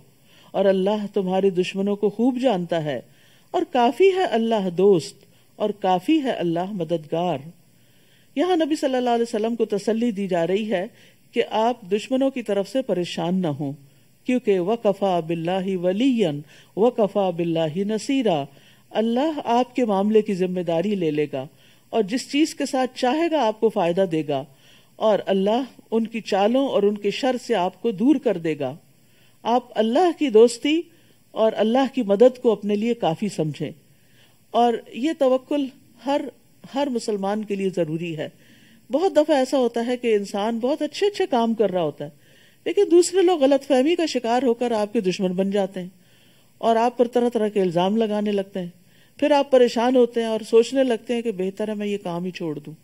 खासतौर पर अगर दीन का काम हो, लोगों को खैर और नेकी की तरफ़ बुलाना हो तो इंसान बददिल होने लगता है। तो पैगंबर तो ये काम नहीं छोड़ सकते थे, उन पर तो फ़र्ज़ था। आम इंसान तो हो सकता है कि एक नहीं तो दूसरा काम कर ले, नेकी का एक मौका नहीं तो दूसरा कोई उसको मिल जाए। लेकिन पैगंबर के लिए तो ऐसी कोई चॉइस नहीं है कि वो लोगों तक हक बात ना पहुँचाए या लोगों को अल्लाह का पैगाम ना दे। तो जितनी फिर ज़िम्मेदारी बड़ी होती है उतनी सपोर्ट भी ज़्यादा होती। तो अल्लाह ताला तसल्ली दे रहे हैं। कि आप अपना काम करते चले जाएँ और अपने दुश्मनों की तरफ़ से बेफिक्र हो जाएँ, उनके मुकाबले के लिए अल्लाह आपको काफ़ी है। और एक हकीकत है कि खैर और भलाई का कोई भी काम करने के लिए सिर्फ़ कोशिशें काफ़ी नहीं होती, अल्लाह की मदद ज़रूरी होती। इसलिए जब भी नेकी का काम कर, अमर बिल मारूफ करें, यानी किसी को कोई अच्छी बात बताने लगे, पहले अल्लाह से दुआ करें, दिल ही दिल में, कि अल्लाह मेरी बात इसके दिल पे असर अंदाज हो यानी मेरी बात में असर डाल दे और इस शख्स को मेरी बात से फ़ायदा पहुँचा। अगर कोई गलत काम कर रहा है, चाहे अपना बच्चा ही कर रहा है तो उसको भी रोकने के लिए पहले अल्लाह से मदद मांगे। कि अल्लाह, तेरी मदद चाहिए। तू मेरी जबान में ऐसी तासीर पैदा कर कि मैं इससे बात करूँ तो ये अपने उस नुकसान को समझ जाए जो ये खुद अपने हाथों कर रहा है। तो इनशाला इस तरह अल्लाह के भरोसे पर अल्लाह से दुआ करके, अल्लाह पे तवक्कुल करके इंसान खैर और भलाई के कामों में आगे बढ़ सकता है, वरना शैतान इंसान को डराता है और जरा सी मुखालफत आने पर इंसान बददिल होके पीछे हट जाता है। तो उसकी परवाह नहीं करनी चाहिए। फिर फरमाया मिनल्लदीन हादू युहर्रिफून अल कलिमा अम मवादिही। वो लोग जो यहूदी बन गए, उनमें से कुछ लोग अल्फाज को उनकी जगहों से तब्दील कर देते हैं। यानी अल्लाह की उतारे हुए कलाम में खुद तब्दीलियाँ कर देते हैं। वो कहते हैं, सुना हमने और नाफरमानी की हमने। यानी जब कोई आयात नाजिल होती तो कहते सुन लिया हमने और दिल में या हल्की आवाज़ से कहते, हमने मानना कोई नहीं। और ये आप देखिए कि आज कई मुसलमानों का भी यही हाल है कि वो अल्लाह ताला के अकामात सुन लेते हैं, पर कहते हैं तो बड़ा मुश्किल है, मेरे लिए तो मुश्किल है, मैं तो नहीं कर सकती। चाहे जबान से कहें या दिल से कहें। नहीं, कोई हुक्म जो मुश्किल लगे तो कहा करे, अल्लाह, मैंने सुन लिया मैं इतात करूँगी, तू मुझे मदद देगा। तेरी तौफीक से। तू मेरे लिए आसान कर दे। या अल्लाह मेरे लिए आसान कर दे। कम अज कम, मिनिमम, अच्छे काम की नीयत ज़रूर कर ले। बाकी तो फिर अल्लाह की दी हुई तौफीक से ही होता है। लेकिन ये कहना, नहीं नहीं इट्स नॉट पॉसिबल आज के दौर में ये नहीं हो सकता। ये तो उस वक्त की बात है, उस जमाने की बात है। इस तरह की बातें दुरुस्त नहीं, क्योंकि कुरान जो है वो हर दौर के लिए। क्यामत तक अब और कोई नई किताब नहीं आने वाली। यही किताब हमारे लिए। कोई और रसूल आने वाला नहीं। मोहम्मद सल्लल्लाहु अलैहि वसल्लम की तालीमात ही हमारे लिए काफ़ी हैं। उन, उस दौर में भी कुछ चीज़ें मुश्किल थी और कुछ आसान थी। आज के दौर की अपनी मुश्किलात हैं। कुछ चीज़ें आसान है, कुछ मुश्किल हैं। तो ज़िंदगी में सिर्फ़ आसानियाँ ही तो नहीं होती। लेकिन अल्लाह ताला का वादा है इन माल उसरी युसरा। तंगी के साथ आसानी भी होती है। इसलिए समय ना व अताना ये किसने कहा था? सूरत अल बकरा का आखिर याद करे, साहब कराम ने, समय ना व अताना लेकिन मुनाफिकीन क्या कहते हैं? समय ना व सईना। और सुनो, मगर तुम ना सुनवाए जाओ। ये भी एक बदुआया अंदाज में बात करते थे वो। और दीन में ऐब लगाने के लिए अपनी जबानों को मोड़ते हुए राय ना कहते हैं।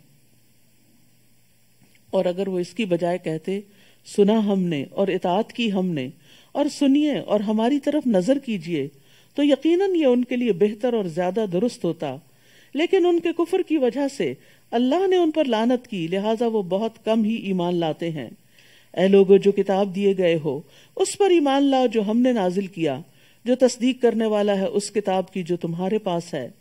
इससे पहले कि हम चेहरों को मिटा दें, फिर हम उन्हें उनकी पुश्तों पर फेर दें पीछे की तरफ़। या हम उन पर इसी तरह लानत करें, जिस तरह हमने सब्त वालों पर लानत की और अल्लाह का हुक्म नाफिज होकर रहने वाला है। इंसान को नेकी के काम में जल्दी करनी चाहिए। नहीं पता कि वक्त कैसा आ जाए और ये सारे मौके खत्म हो जाएँ। इन अल्लाह कभी ही वो यकफिर यकीनन अल्लाह नहीं बख्शेगा कि उसके साथ शिर किया जाए। मोमिन को सबसे ज़्यादा सेंसिटिव जिस मामले में होना चाहिए, वो शिरक का मामला है। कोई ऐसी चीज़ जो शिरक की तरफ़ भी ले जाती है, उससे भी बचना चाहिए और इसके लिए इल्म हासिल करना चाहिए कि क्या क्या चीज़ें इंसान को शिरक में मुबतला कर देती हैं। कौन सी सोच, कौन सा बोल, कौन सा फेल, ये जानना बहुत ज़रूरी। फालम इल्लाहु। फालम इल्लाहु। ये इल्म हासिल करो, जान लो कि अल्लाह के सिवा कोई मबूद नहीं। तो ये इल्म सबसे अहम तरीन उलूम में से है। इसी पर हमारी निजात है। और नबी सल्लल्लाहु अलैहि वसल्लम और बाकी तमाम अंबिया ने लोगों को एक रब की इबादत की तरफ़ बुलाया था। फरमाया, और जो गुना उसके अलावा है, वो जिसके लिए चाहेगा बख्श देगा। ये उसके हाथ में मालिक योमुद्दीन वही है।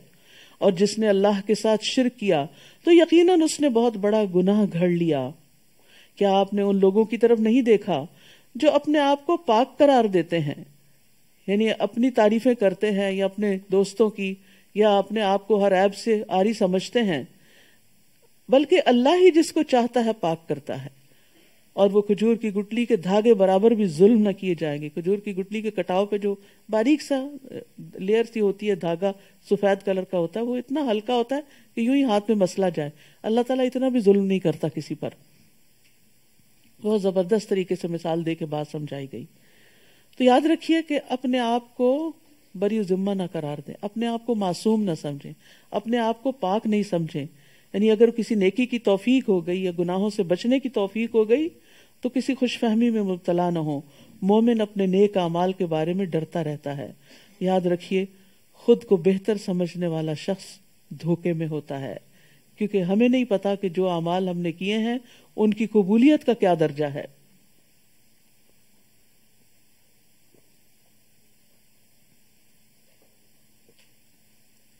देखिए, वो किस तरह अल्लाह पर झूठ गढ़ते हैं?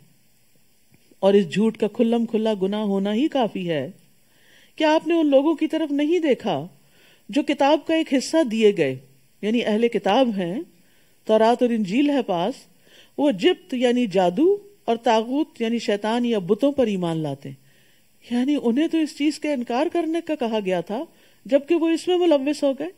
और कुफर करने वालों के बारे में कहते हैं, यानी कुरैश के बारे में, अहले मक्का के बारे में कहते हैं, ये लोग ईमान वालों की नस्बत रास्ते के एतबार से ज़्यादा हिदायत याफ्ता है। हालाँकि होना क्या चाहिए था? वो भी अहले के किताब वाले हैं और मुसलमान भी किताब वाले थे। तो किताब वालों को किताब वालों का साथ देना चाहिए था। तो इसकी बजाय उन्होंने मुशरकिन का साथ दिया।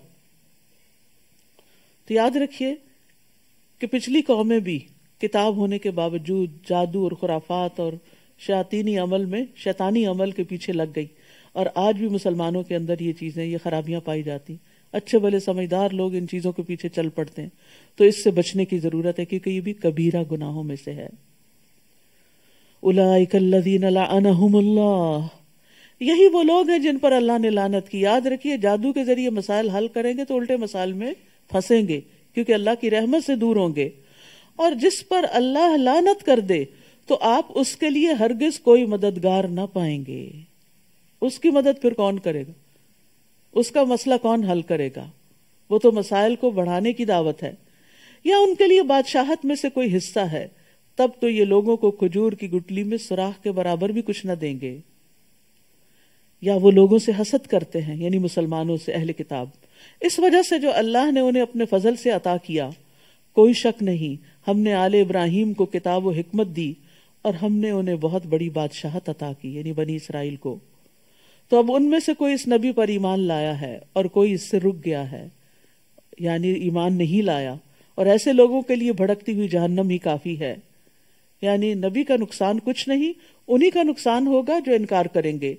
बेशक वो लोग जिन्होंने हमारी आयात का इनकार किया अनकरीब हम उन्हें आग में जलाएँगे जब भी उनकी खालें पक जाएँगी हम उन्हें दूसरी खालों से बदल देंगे, ताकि वो चखें अजाब को। बेशक अल्लाह बहुत ज़बरदस्त, बहुत हिकमत वाला है। जहन्नम में जहन्नमी के जिसम की खाल सत्तर बालिश्त चौड़ी हो जाएगी। इतनी मोटी खाल होगी जो जलेगी। और वो इतना मोटा हो जाएगा, इतना बड़ा हो जाएगा कि कान की लू से कंधे तक का फासला सात सौ साल के बराबर। एक डाढ़ ओहद पहाड़ के बराबर। ये उनका हाल हो जाएगा वहाँ फूल फूल के आग से। मोटापा तो बजाते खुद ही एक अजाब होता है और कहा यह कि आग और उसके ऊपर से इतना मोटापा और फिर आग में जलना तो अल्लाह की नाफर, शिरक और अल्लाह की नाफरमानी और कबीरा गुनाहों का इरतकाब कोई खेल नहीं है। इंसान के लिए हलाकत है इन चीज़ों में, इसलिए अपनी ज़िंदगी में ही तौबा कर लेनी चाहिए। और वो लोग जो ईमान लाए और उन्होंने नेक अमल किए हम अन करीब उन्हें ऐसे बागात में दाखिल करेंगे जिनके नीचे से नहरें बहती हैं। वो उनमें हमेशा हमेशा रहने वाले हैं। उनके लिए उन बागों में इंतहाई पाकिजा बीवियाँ हैं और हम उन्हें घने साय में दाखिल करेंगे। याद रखिए, जहाँ भी जन्नत की औरतों की बात आई है, पाकिजगी के साथ ही आई है। तो एक औरत को पाकिजा निगाह होना चाहिए, पाकिजा गुफ्तगु करनी चाहिए, पाक अपनी इज़्ज़त इसमत में पाकिजगी इख्तियार करनी चाहिए, हराम चीज़ों से बचना चाहिए। इन्नल्लाहमरकुमन तो इला अहलिहा। बेशक अल्लाह तुम्हें हिदायत देता है। अल्लाह तुम्हें हुक्म देता है कि तुम अमानतें उनके अहल के सपुर्द करो, और जब तुम लोगों के दरमियान फैसला करो तो अदल के साथ फैसला करो। यानी ओहदे और जिम्मेदारियाँ सिर्फ़ उनको दो जो निभाने के अहल हों, और अगर उनमें कोई कॉन्फ्लिक्ट हो जाए तो किसी एक के साथ फेवरेटिज्म नहीं करना, इंसाफ से फैसला करना है। बेशक ये बहुत ही उम्दा नसीहत है जो अल्लाह तुम्हें कर रहा है। इससे जमातें और ऑर्गेनाइजेशन और कौमें और मुल्क आगे बढ़ते हैं जब लोगों के दरमियान इंसाफ होता है जस्टिस होता है। बेशक अल्लाह खूब सुनने वाला, खूब देखने वाला है। ए लोगो, जो ईमान लाए हो इतात करो अल्लाह की और इतात करो रसूल की और उनकी, जो तुम में से उलुल अम्र, यानी साहिब इख्तियार हैं, तुम्हारे जिम्मेदार हैं, तुम पर तुम्हारे अमीर मुकर किए गए हैं। फिर अगर तुम्हारे माबैन किसी चीज़ में इख्तलाफ हो जाए तो उसे अल्लाह और रसूल की तरफ़ फेर दो। उलुल अम्र की तरफ़ नहीं, इत्तेहाद अल्लाह रसूल की बात पर ही हो सकता है। वरना शख्सियतों की तरफ़ अगर एक अपनी शख्सियत की तरफ़ ले जाएगा तो दूसरा अपने किसी बुज़ुर्ग की तरफ़ मामले को ले जाएगा और झगड़े बढ़ेंगे, जैसा कि हो रहा है शख्सियत परस्ती के नतीजे में। अगर तुम अल्लाह और योम आखरत पर ईमान रखते हो, ये बेहतर है और अंजाम के एतबार से ज़्यादा अच्छा भी है। तो उमूमी हिदायत क्या है कि इख्तलाफ की सूरत में फैसला अल्लाह और रसूल की तरफ़ ले जाओ कि वो क्या हुक्म देते हैं। और यहाँ हुक्मरानों की इतात की अहमियत भी पता चलती है, लेकिन उनकी इतात अल्लाह की इतात के मुताबिक ही होगी। अल्लाह की नाफरमानी में नहीं। अगर वो गुनाह का हुक्म दे तो उनकी बात नहीं मानी जाएगी। क्या आपने देखा नहीं उन लोगों की तरफ़ जो दावा तो करते हैं कि वो इस पर ईमान लाए, जो आप पर उतारा गया? और जो आपसे पहले उतारा गया, मगर वो चाहते ये हैं कि वो तागूत की तरफ़ फैसला ले जाएँ, यानी अपने बड़े सरदारों की तरफ़, जबकि बिलाशुबा वो उसके कुफर का हुक्म दिए गए थे, और शैतान चाहता है कि वो उन्हें गुमराह कर दे, दूर का गुमराह करना। और जब उनसे कहा जाता है कि आओ तुम उसकी तरफ़ जो अल्लाह ने नाजिल किया, और आओ रसूल की तरफ़ तो आप मुनाफिकों को देखते हैं कि वो आपसे रुक ही जाते हैं, वो आपसे फैसला नहीं लेना चाहते। फिर क्या होता है जब उन्हें फिर क्या होता है जब उन्हें उनके हाथों की कमाई की वजह से कोई मुसीबत पहुँचती है? फिर वो आपके पास अल्लाह की कस्में खाते हुए आ जाते हैं कि हमने तो सिर्फ़ एहसान और मुआफ़त का इरादा किया था। तो याद रखिए, गुनाह मुसीबतों का बायस बनते हैं। दूसरी जगह भी आता है, वमा असा असाबकुम मुसीबत फबिमा कसबत कुम व कसीर। और तुम्हें जो भी मुसीबत पहुँची तो वो इस वजह से है जो तुम्हारे हाथों ने कमाया। तुम्हारी अपनी गलतियाँ हैं। और वो बहुत सी चीज़ों से दरगुजर भी कर जाता है। और वो बहुत सी चीज़ों से दरगुजर कर जाता है। यही वो लोग हैं कि अल्लाह जानता है, जो इनके दिलों में है तो आप इनसे एराज करें और इन्हें नसीहत करें। और इनसे ऐसी बात कहें जो इनके दिलों तक पहुँच जाए। यानी वो लोग जो आपसे बेरुखी करते हैं, आपकी तरफ़ नहीं आते, आपके मकाम की कदर नहीं करते तो उनकी इन बातों को भी इग्नोर कर दें, नसीहत कर दें और कोई ऐसी बात करे कि उनके दिल भी नरम हो जाए। यह है पैगम्बराना अखलाक।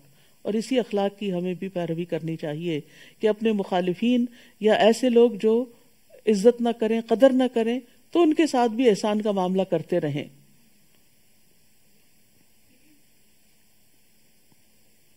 और नहीं भेजा हमने कोई भी रसूल, मगर इसलिए कि वो अल्लाह के इज़्न के साथ इतात किया जाए। और अगर वो आ जाते आपके पास जब उन्होंने अपनी जानों पे जुल्म किया था फिर वो अल्लाह से बख्शिश मांगते और रसूल भी उनके लिए बख्शिश मांगते तो ज़रूर वो अल्लाह को बहुत तौबा कबूल करने वाला, नहायत रहम करने वाला पाते। तो याद रखिए, गुनाह इंसान के लिए मुसीबतों का बायस बनते हैं, रिस्क से महरूम कर देते हैं, बाजुकत सेहत के मसाइल से दो चार कर देते हैं तो इन सारे मसाइल से निकलने का रास्ता इस्तगफार है। अल्लाह से खूब खूब माफ़ी मांगना है। और एक कार्ड भी यहाँ पर है जिसमें हमने कोशिश की कि जो दुआएँ इस्तफार की कुरान मजीद में हैं या नबी सल्लल्लाहु अलैहि वसल्लम की सही अहादीस से साबित हैं, वो जमा कर दी जाएँ। तो जिस किसी का कोई भी मसला हो, वो अगर रोज़ाना उन दुआओं को पढ़ना शुरू कर दे, इस नीयत के साथ कि अल्लाह जो भी रुकावटें हैं जिस नेक काम में वो दूर कर दे तो इन अल्लाह सुबहान तला ज़रूर उससे निकालेगा, क्योंकि अल्लाह का वादा है ये। बस नहीं, कसम है आपके रब की वो मोमिन नहीं हो सकते। यहाँ तक कि वो आपको इस मामले में मुनसिफ बनाए, जिसमें उनके दरमियान इख्तलाफ हुआ है। फिर वो अपने दिलों में उस फैसले से जो आपने किया है, कोई तंगी ना पाए और वो उसको पूरी तरह तस्लीम कर लें। यानी नबी सल्लल्लाहु अलैहि वसल्लम के फैसलों को मानना भी नहायत ज़रूरी है, ये ईमान का तकाजा है। और अगर बेशक हम उन पर लिख देते कि अपने नफ्सों को कत्ल करो या अपने घरों से निकल जाओ, यानी माफ़ी के लिए तो चंद लोगों के सिवा वो ऐसा न करते। और अगर वो वही करते जिसकी वो नसीहत किए जाते हैं तो ज़रूर वो उनके लिए बेहतर होता और साबित कदमी के एतबार से ज़्यादा अच्छा होता। तो याद रखिए, बंदा जब अपने इल्म के मुताबिक अमल करता है तो अल्लाह सुबहान तला उसके इल्म में भी इजाफा फरमाते हैं और उसके अंदर मजीद साबित कदमी भी आती है। यानी हम कहते नहीं अल्लाह, हम अभी तो सुन रहे हैं, अभी तो अमल कर रहे हैं। ऐसा न आइंदा ज़िंदगी में भटक जाए नहीं। इल्म व तसिमु बेहबल्ला ज़मीन अल्लाह की रस्सी कुरान को मज़बूत थामे रखो इस्तफार करते रहो तो अल्लाह ताला साबित कदमी भी देगा, नहीं फिसलोगे इनशाला और तब हम उन्हें यकीनन अपने पास से अजर अजीम अता करते और हम ज़रूर उन्हें सीधे रस्ते की तरफ़ हिदायत देते। और जो कोई अल्लाह और रसूल की इतात करे तो वो ऐसे लोगों के साथ होंगे, जिन पर अल्लाह ने इनाम किया। अम्बिया सिद्दीकीन, शुहदा और सालिहीन में से और कितने अच्छे हैं ये लोग बतौर साथी के। नबी सल्लल्लाहु अलैहि वसल्लम की खिदमत में एक सहाबी हाजिर होते थे तो वो एक दिन कहने लगे कि अल्लाह के रसूल, जब आपके पास होता हूँ, आप आप, आपको देखता हूँ तो मेरा दिल खुश होता है, लेकिन मुझे ये डर है कि मैं भी फौत हो जाऊँगा और आप भी। तो फिर मरने के बाद आपका मकाम तो बहुत बुलंद होगा। हम पता नहीं कहाँ होंगे। तो इस पर वो बहुत गमगीन हो गए कि मरने के बाद आपकी मोहब्बत और आपकी सोहबत और आपकी रफाकत और आपका कुर्ब कैसे हासिल होगा।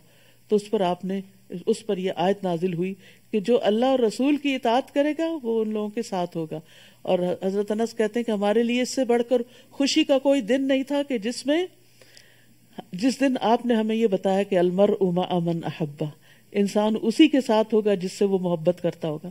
अगर हमारी मोहब्बत रसूलुल्लाह सल्लल्लाहु अलैहि वसल्लम के साथ सच्ची है, हम आपकी इतात करते हैं, आपका आपका इत्तबा करते हैं, आपकी सुन्नतों पर चलते हैं, आपके साथ हमारी एक अकीदत है तो इन आपके नक्शे कदम पर पीछे पीछे चलते चलते अल्लाह ताला क़यामत के दिन भी साथ देगा और दो खास मौके पर, खास तौर पर जब हौज कौसर से पानी मिलेगा और दूसरे शफात का मौका।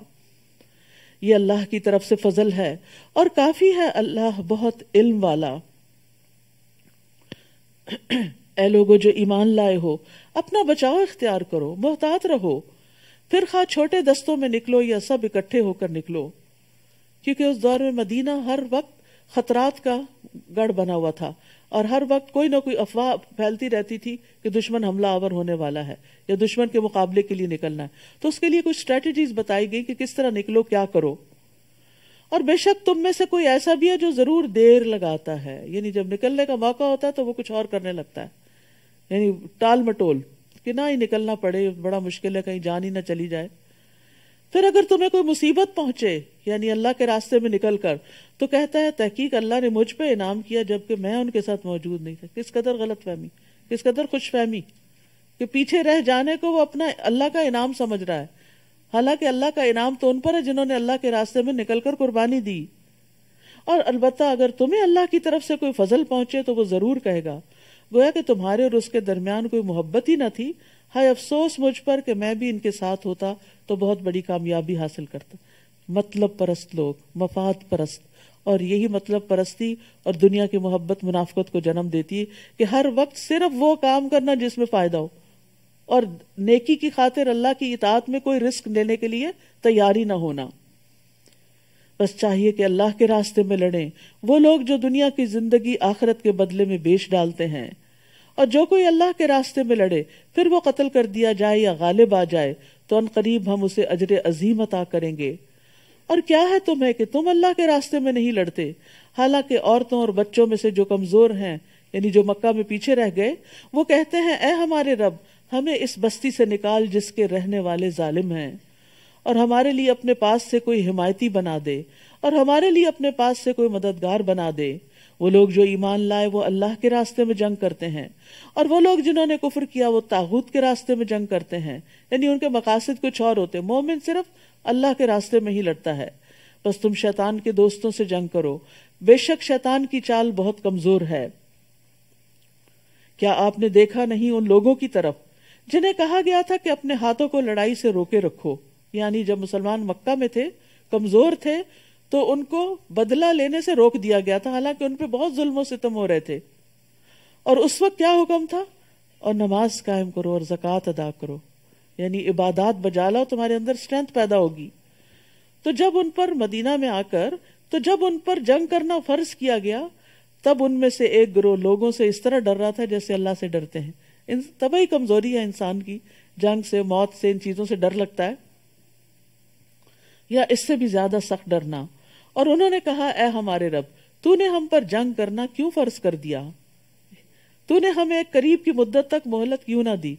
अभी भी हम इतने तैयार नहीं हैं, क्योंकि मदीना पहुँचते ही आपको मालूम है, दूसरे साल तो जंग बदर हुई, तीसरे साल ओहद हुई, फिर उसके बाद अहजाब हुई, फिर बेशुमानी ऊपर नीचे मुसलमान जो थे, वो हालत जंग में ही थे। तो यहाँ उनको तैयार किया जा रहा है कि तुम तुम अपना दिफा करने के काबिल हो जाओ अब। कह दीजिए, दुनिया का फ़ायदा बहुत थोड़ा है और आखिरत उसके लिए बेहतर है जो तकवा इख्तियार करे और तुम धागे बराबर भी जुल्म न किए जाओगे। याद रखिए, दुनिया जितनी भी मिल जाए, कानून के खजाने भी हों तो आखिरत के मुकाबले में बहुत थोड़ी है। काश ये बात हमें समझ आ जाए। इसलिए हम किसी भी नेक अमल का बदला दुनिया में चाहने की बजाय आखिरत में चाहने लगें। और अगर दुनिया में कोई चीज़ किसी नेक काम की एवज नहीं भी मिलती तो भी इसी तरह खुश हो। जैसे कोई चीज़ मिलने पे इंसान खुश होता है। रसूलुल्लाह सल्लल्लाहु अलैहि वसल्लम ने फरमाया, मुझे दुनिया से क्या? मेरी और दुनिया की मिसाल तो उस सवार की सी है, जो थोड़ी देर साया लेने के लिए किसी दरख्त के नीचे रुका, फिर उसे छोड़कर चल पड़ा। लेकिन यह इंसानों की कमज़ोरी है ना इंस्टेंट रिवार्ड चाहते हैं इंस्टेंट ग्रेटिफिकेशन चाहते हैं। जरा सा कोई काम करें, चाहते हैं बस लोग हमारा शुक्रिया अदा करें, तारीफें करें, तब हम आगे बढ़ेंगे। और इससे, इसके बगैर काम करने को तैयार नहीं होते। तो ये चीज़ इंसान की तरक्की के रास्ते में बहुत बड़ी रुकावट है। तो इस्लाम ने जो आखिरत पे अजर छोड़ा, उसे कहा, यहाँ तो तुम दौड़ लगाए रखो। आगे जब मंजिल पे पहुंचोगे, सब कुछ तुम्हें पूरा पूरा दे दिया जाएगा। तो इसलिए कभी भी लोगों से तारीफ़ चाहने के के लिए इंतज़ार में ना रहें और अपने नेकी के काम को रोके नहीं, करते चले जाएँ, करते चले जाएँ, जिसके लिए कर रहे हैं, आपका अजर उसके जिम्मा है और वो अपना जिम्मा खूब निभाएगा। ऐनमा तकूनो युद्रिक कुमुल मौत, जहाँ कहीं भी तुम होगे, मौत तुम्हें पालेगी। यानी दुनिया में हमेशा नहीं रह सकते, मौत की जगह मुकर्र है, वो अपनी जगह पर खुद ही आ जाएगी। तुम जहाँ चाहो भागो, भाग के बच नहीं सकते। अगरचे तुम मज़बूत किलों में ही क्यों ना हो? कहीं भी जाके छुपो, नहीं छुप सकते। फरिश्ते हर चीज़ में दाखिल हो जाते हैं और जान ले लेते हैं। और अगर उन्हें कोई भलाई पहुँचती है तो वो कहते हैं, ये अल्लाह की तरफ़ से है। और अगर उन्हें कोई बुराई पहुँचते है, और अगर उन्हें कोई बुराई पहुँचती है तो कहते हैं, ये आपकी तरफ़ से है। कह दीजिए, सब कुछ अल्लाह की तरफ़ से है। तो इन लोगों को क्या है कि वो बात समझ ही नहीं पाते?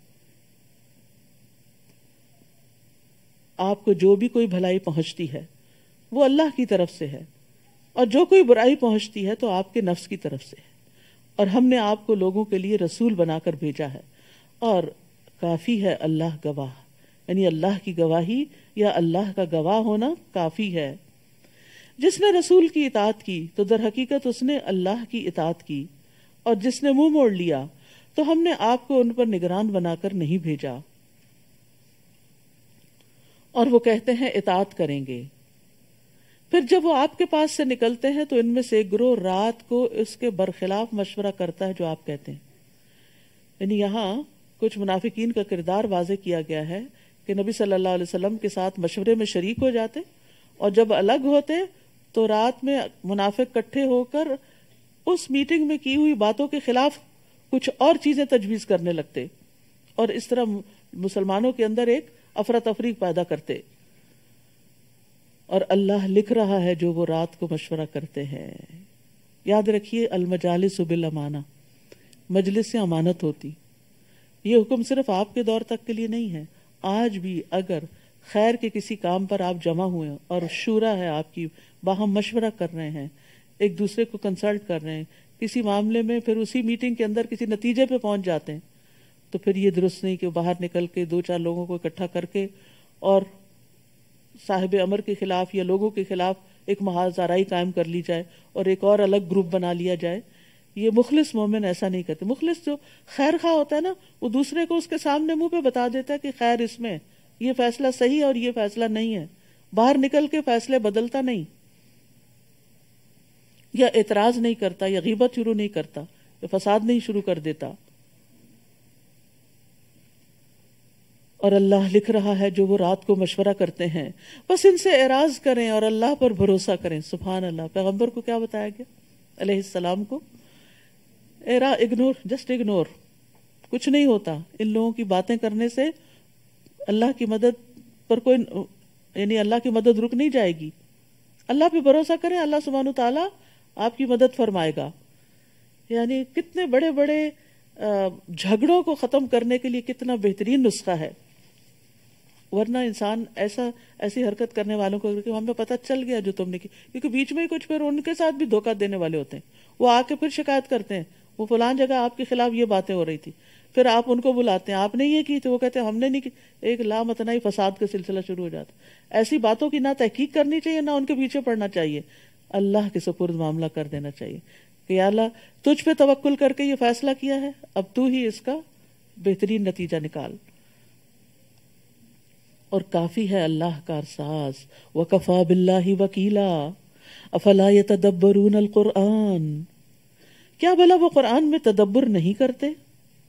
अगर ये अल्लाह के अलावा किसी और की तरफ़ से होता तो ज़रूर वो इसमें बहुत ज़्यादा इख्तलाफ पाते। लेकिन कुरान के बाज अहकाम बाज की तायद करते हैं। यानी कुरान में गौर फ़िक्र करने वाला, गहराई में जाने वाला, अच्छी तरह ये बात समझता है कि कुरान अल्लाह ही की तरफ़ से है। और जब उनके पास अमन या खौफ में से कोई मामला आता है तो वो उसे फैला देते हैं। मदीना में चूँकि तरह तरह के हमलों के की खबरें आती रहती थी तो मुनाफिकीन उसमें आगे आगे होते थे। और वो क्या करते? कि अफवाहें खूब खूब अफवाहें फैलाते थे।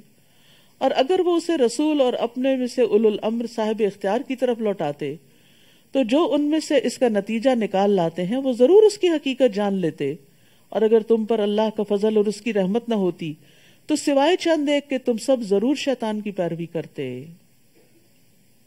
बस आप अल्लाह के रास्ते में लड़े। आप सिर्फ़ अपनी ही जान के मुकल्लफ बनाए गए हैं। यहाँ नबी सल्लल्लाहु अलैहि वसल्लम से खिताब है कि आप पर अपनी ही ज़िम्मेदारी है, आप अपना काम करते जाएँ और मोमिनों को भी उभारे। यानी आप दूसरों को मोटिवेट ही कर सकते हैं। तो इससे ही पता चलता है कि जो लीडर होता है, वो एक्शन से लीड करता है। काम करके दिखाता है तो दूसरे लोग फिर पीछे आ जाते हैं। उम्मीद है कि अल्लाह काफिरों की जंग को रोक दे और अल्लाह बहुत ही सख्त है लड़ाई में और बहुत ही सख्त है इबरतनाक सजा देने में। मई यशवा शफातन हसनतन यकुल्लहु नसीब मिनहा। जो कोई सफारिश करेगा, अच्छी सफारिश, उसके लिए उसमें से हिस्सा होगा। यानी अगर किसी का कोई काम अटका हुआ है और आपके कहने से वो हो जाएगा और आप कह देते हैं तो जो नेकी का काम होगा, उस सब में आपका हिस्सा पड़ गया। हदीस में आता है, अद्दाल खैरी ही नेकी की तरफ़ रहनुमाई करने वाला भी ऐसा ही है जैसा उसको कर लेने वाला। तो खैर के काम न सिर्फ़ ये कि खुद करें, बल्कि दूसरों को भी उभारते रहें और दूसरों को भी मोटिवेट करें कि वो खैर में ताउन करें। तावन बिर्र व तकवा वला तावन इसम वलवान नेकी और तकवा के कामों में एक दूसरे से ताउन करो और बुराई के मामले में तावन नहीं करो, यानी ज्यादती के मामले में। वला तावन इसम, गुनाह के काम, वल उदवान और ज्यादती के कामों में एक दूसरे का साथ ना दो, बल्कि एक दूसरे को रोको, अगर कोई किसी के ऊपर जाति कर रहा है। और जो कोई और जो कोई सफारिश करेगा, बुरी सफारिश, उसके लिए उसमें से हिस्सा होगा। और अल्लाह हर चीज़ पर निगरान है। तो अच्छी सफारिश से लोगों के काम बन जाते हैं, लोगों के बीच में सुलह हो जाती है और बुरी सफारिश चुगलखोरी जैसा अमल होता है और उससे फसादात फैलते हैं। व इदा हुई तुम भी बितहियतिन फहयू बेहसन मिनहा और और जब तुम दुआ दिए जाओ कोई दुआ तो तुम भी उससे ज़्यादा अच्छी दुआ दो या उसी को लौटा दो। बेशक अल्लाह हर चीज़ पर खूब हिसाब लेने वाला है। हिसाब लेने वाला जी इसका मतलब यह है कि जो तुम्हारे साथ एहसान करे, उसके साथ तुम भी एहसान करो। हत्या कि अगर कोई तुम्हें दुआ देता है तो बदले में दुआ दो। हा? और यहाँ खासतौर पर इशारा है सलाम करने का। यानी अगर तुम्हें कोई सलाम करता है तो तुम भी वालेकुम सलाम कहो। याद रखिए, सलाम फैलाना सलामती है। आपने फरमाया, सलाम फैलाओ, तुम सलामत रहोगे। बड़े बड़े झगड़ों फितनों से बच जाओगे। घर की ज़िंदगी के अंदर भी अगर घर वाले शोहर बीवी को सुबह उठ के, बीवी शोहर को, बच्चों को, सब एक दूसरे को सलाम करते हैं, जब घर से निकलते हैं, सलाम करके जाते हैं, वापस आते हैं, सलाम करते हैं तो घर की फजा में खुशी पैदा हो जाती है और सब दुआएँ देते और लेते हुए जा रहे होते हैं तो इससे इंसान के अंदर सलामती भी आती है। ये सलाम जो है, ये मगफिरत को वाजिब करने वाला अमल है। नेकियों का बायस है। यानी सिर्फ़ अस्सलाम वालेकुम कहने से दस नेकियाँ व रहमतुल्लाह कहने से बीस व बरकातु कहने से तीस, और आपस में मोहब्बत बढ़ाने का ज़रिया है। जहाँ आप मोहब्बतों की कमी देखते हैं, इस नुस्खे को पल्ले बाँध ले, सलाम की कसरत कर दे, मोहब्बत पैदा हो जाएगी। क्योंकि कम्युनिकेशन शुरू हो जाती है ना। रसूलुल्लाह सल्लल्लाहु अलैहि वसल्लम ने फरमाया, तुम जन्नत में दाखिल नहीं हो सकोगे। जब तक ईमान न लाओ, और तुम ईमान नहीं ला सकते, जब तक आपस में मोहब्बत न करो। क्या मैं तुम्हें ऐसी बात ना बता दूँ कि जब तुम उस पर अमल करोगे तो तुम्हारे दरमियान मोहब्बत पैदा हो जाएगी। जिन हस्बैंड वाइफ के बीच में इख्तलाफ है, लड़ाई झगड़ा है, और एक दूसरे की शक्ल नहीं देखना चाहते, वो सलाम से शुरू कर दें। क्योंकि सलाम ही तो खत्म होता है तो फसाद और बढ़ जाते हैं। और आप तो आपस में सलाम को आम करो आम करो, ज़्यादा से ज़्यादा करो। और सबसे बड़ा बखील वो है, जो सलाम में बुखल करता हो। फिर फरमाया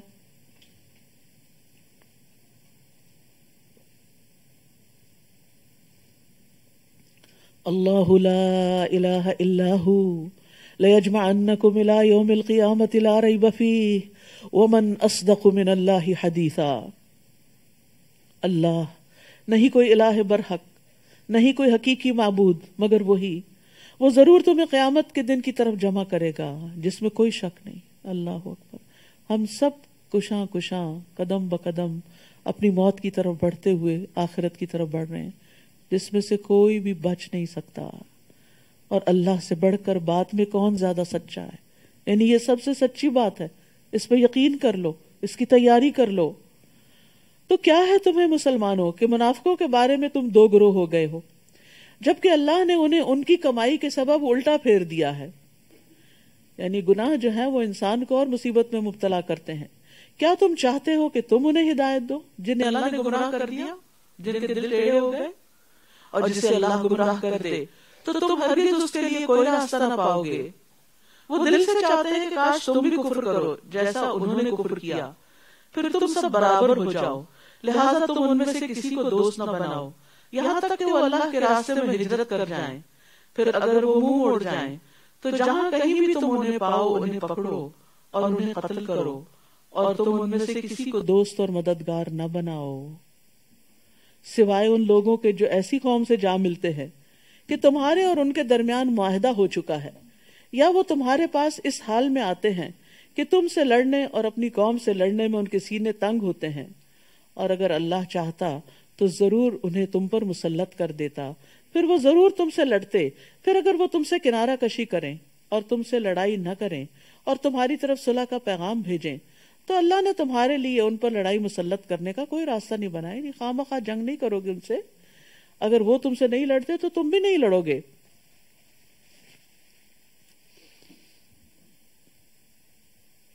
सतजिदून आखरीन अनकरीब तुम कुछ और लोगों को भी पाओगे, जो चाहते हैं कि तुमसे अमन में रहें, और अपनी कौम से भी अमन में रहें, वो किसी से भी नहीं लड़ना चाहते।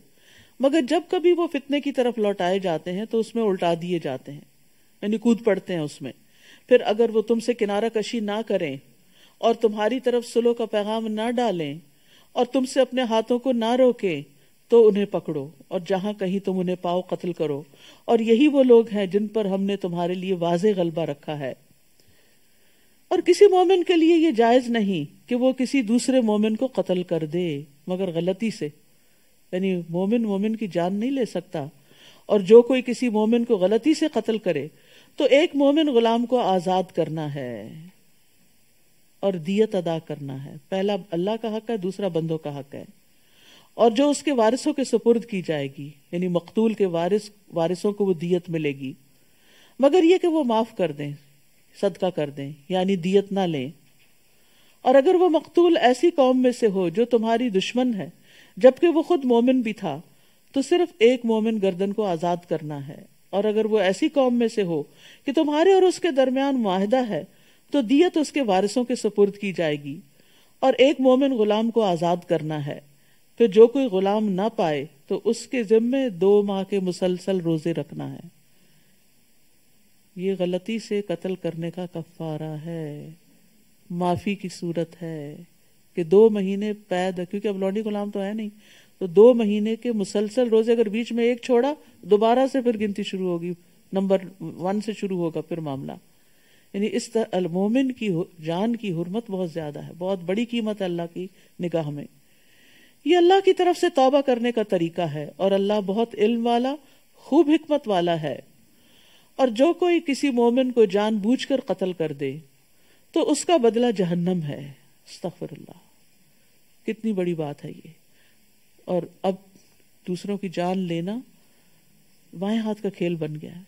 कत्ल करने के, जान लेने के नित नए तरीके ईजाद कर लिए गए हैं। और बाजों का छोटी छोटी बातों पर कत्ल कर दिया जाता है लोगों को। और उसमें न देखा जाता कोई मासूम बच्चा है, कोई औरत है, कोई बूढ़ा है, कोई जवान है। यानी इंसानी जान बहुत अर्जा हो गई।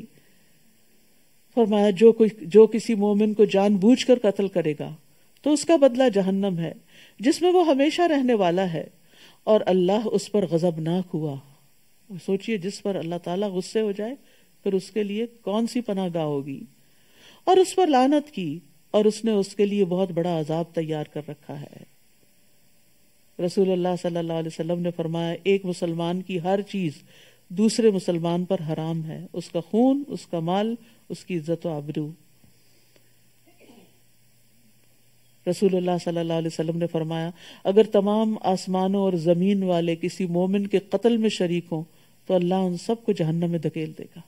यानी अगर कोई किसी का साथ भी दे, इशारे से भी, या किसी भी तरह दूसरे को इनकरेज करे कि मारो मारो तो वो भी कातिल के बराबर ही मुजरिम हो जाता है। याद रखिए, ये तो उमूमी कत्ल की बात है। पर एक कत्ल वो है जो औरतें करती हैं, पेट के बच्चे को, जिसमें रूह भी पड़ चुकी होती है। तो कोई भी बच्चा जिसके अंदर रूह पड़ चुकी हो, हरकत करता हो, उसका दिल धड़कता हो, वो सुनने के काबिल हो चुका हो, उसके हाथ पाँव बन चुके हो तो छोटी छोटी बातों से बाजुकत ये नहीं पाल सकते। बाजुकत ये कि डॉक्टर्स कहते हैं कि इसको फलां बीमारी है तो यहीं से ख़त्म कर दो। ये संभालना इसका मुश्किल होगा, बाद में इसकी परवरिश मुश्किल होगी। तो ये कोई उज़र नहीं किसी की भी जान लेने के। जान हर एक को प्यारी होती है, चाहे कोई माजूर हो, चाहे कोई सेहतमंद हो। तो इससे भी बचने की ज़रूरत है। यानी अपनी औलाद को कत्ल करना हमाकत भी है, यानी कुरान की नज़र में, सफ़ाहन बग़ैर इल्म। और ला इल्मी में भी ये कत्ल करना जो है, ये बहुत गलत बात है और बहुत बड़ा गुनाह है। इससे तौबा करनी चाहिए। फिर फरमाया ए लोगो, जो ईमान लाए हो, जब तुम अल्लाह की राह में सफ़र करो तो तहकीक कर लिया करो। और जो तुम्हारी तरफ़ सलाम करे, उसको ये ना कहो कि तुम मोमिन नहीं। क्योंकि उस जमाने में बाज मुसलमान किसी बाहर निकले और एक चरवाहा था, समझा कि शायद ये कोई दुश्मन का जासूस है तो उसको बगैर तहकीक की उसने कहा वालेकुम तो इन्होंने फिर भी मार डाला। पर मैं तुम दुनिया की ज़िंदगी का सामान चाहते हो। उसके पास चंद बकरियाँ जी थी जो तुमको लेना थी। तो अल्लाह के पास तो बहुत सी गनीमतें हैं। तुम भी इससे पहले इसी तरह थे। अल्लाह ने तुम पर एहसान किया। यानी तुम्हें इस्लाम की दौलत अता की। बस तहकीक कर लिया करो।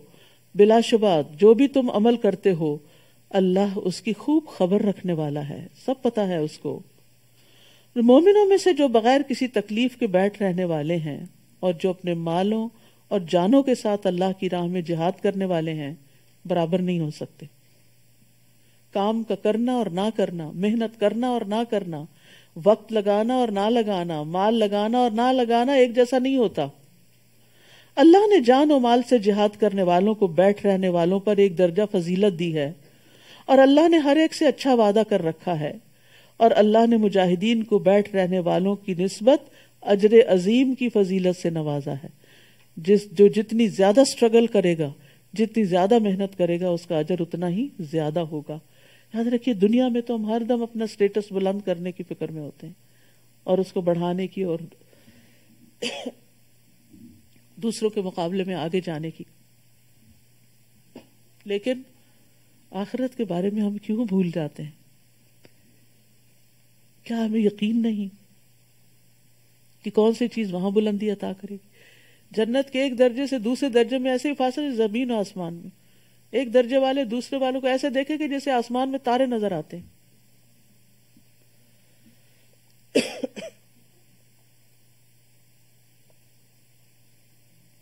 और वो हमेशगी की इज़्ज़त है और हमेशगी की बुलंदगी है। दुनिया में कोई कितना भी बुलंद हो जाए, बिल आखिर जाना चंद फुट मट्टी के अंदर ही है, मट्टी में मिलना है। और बहुत दुनिया में बेशुमार बादशाह आए बड़े बड़े मालदार लोग आए बड़े बड़े कारनामे करने वाले। आज किसको याद है उनके नाम? किसको इवन पता है उनकी कब्रें कहाँ हैं? ये तक नहीं पता। इल्ला माशा गुमनाम है वो। पूरी पूरी बस्तियाँ जिनको डबो दिया गया, गुमनाम है, किसी को नाम तक नहीं पता।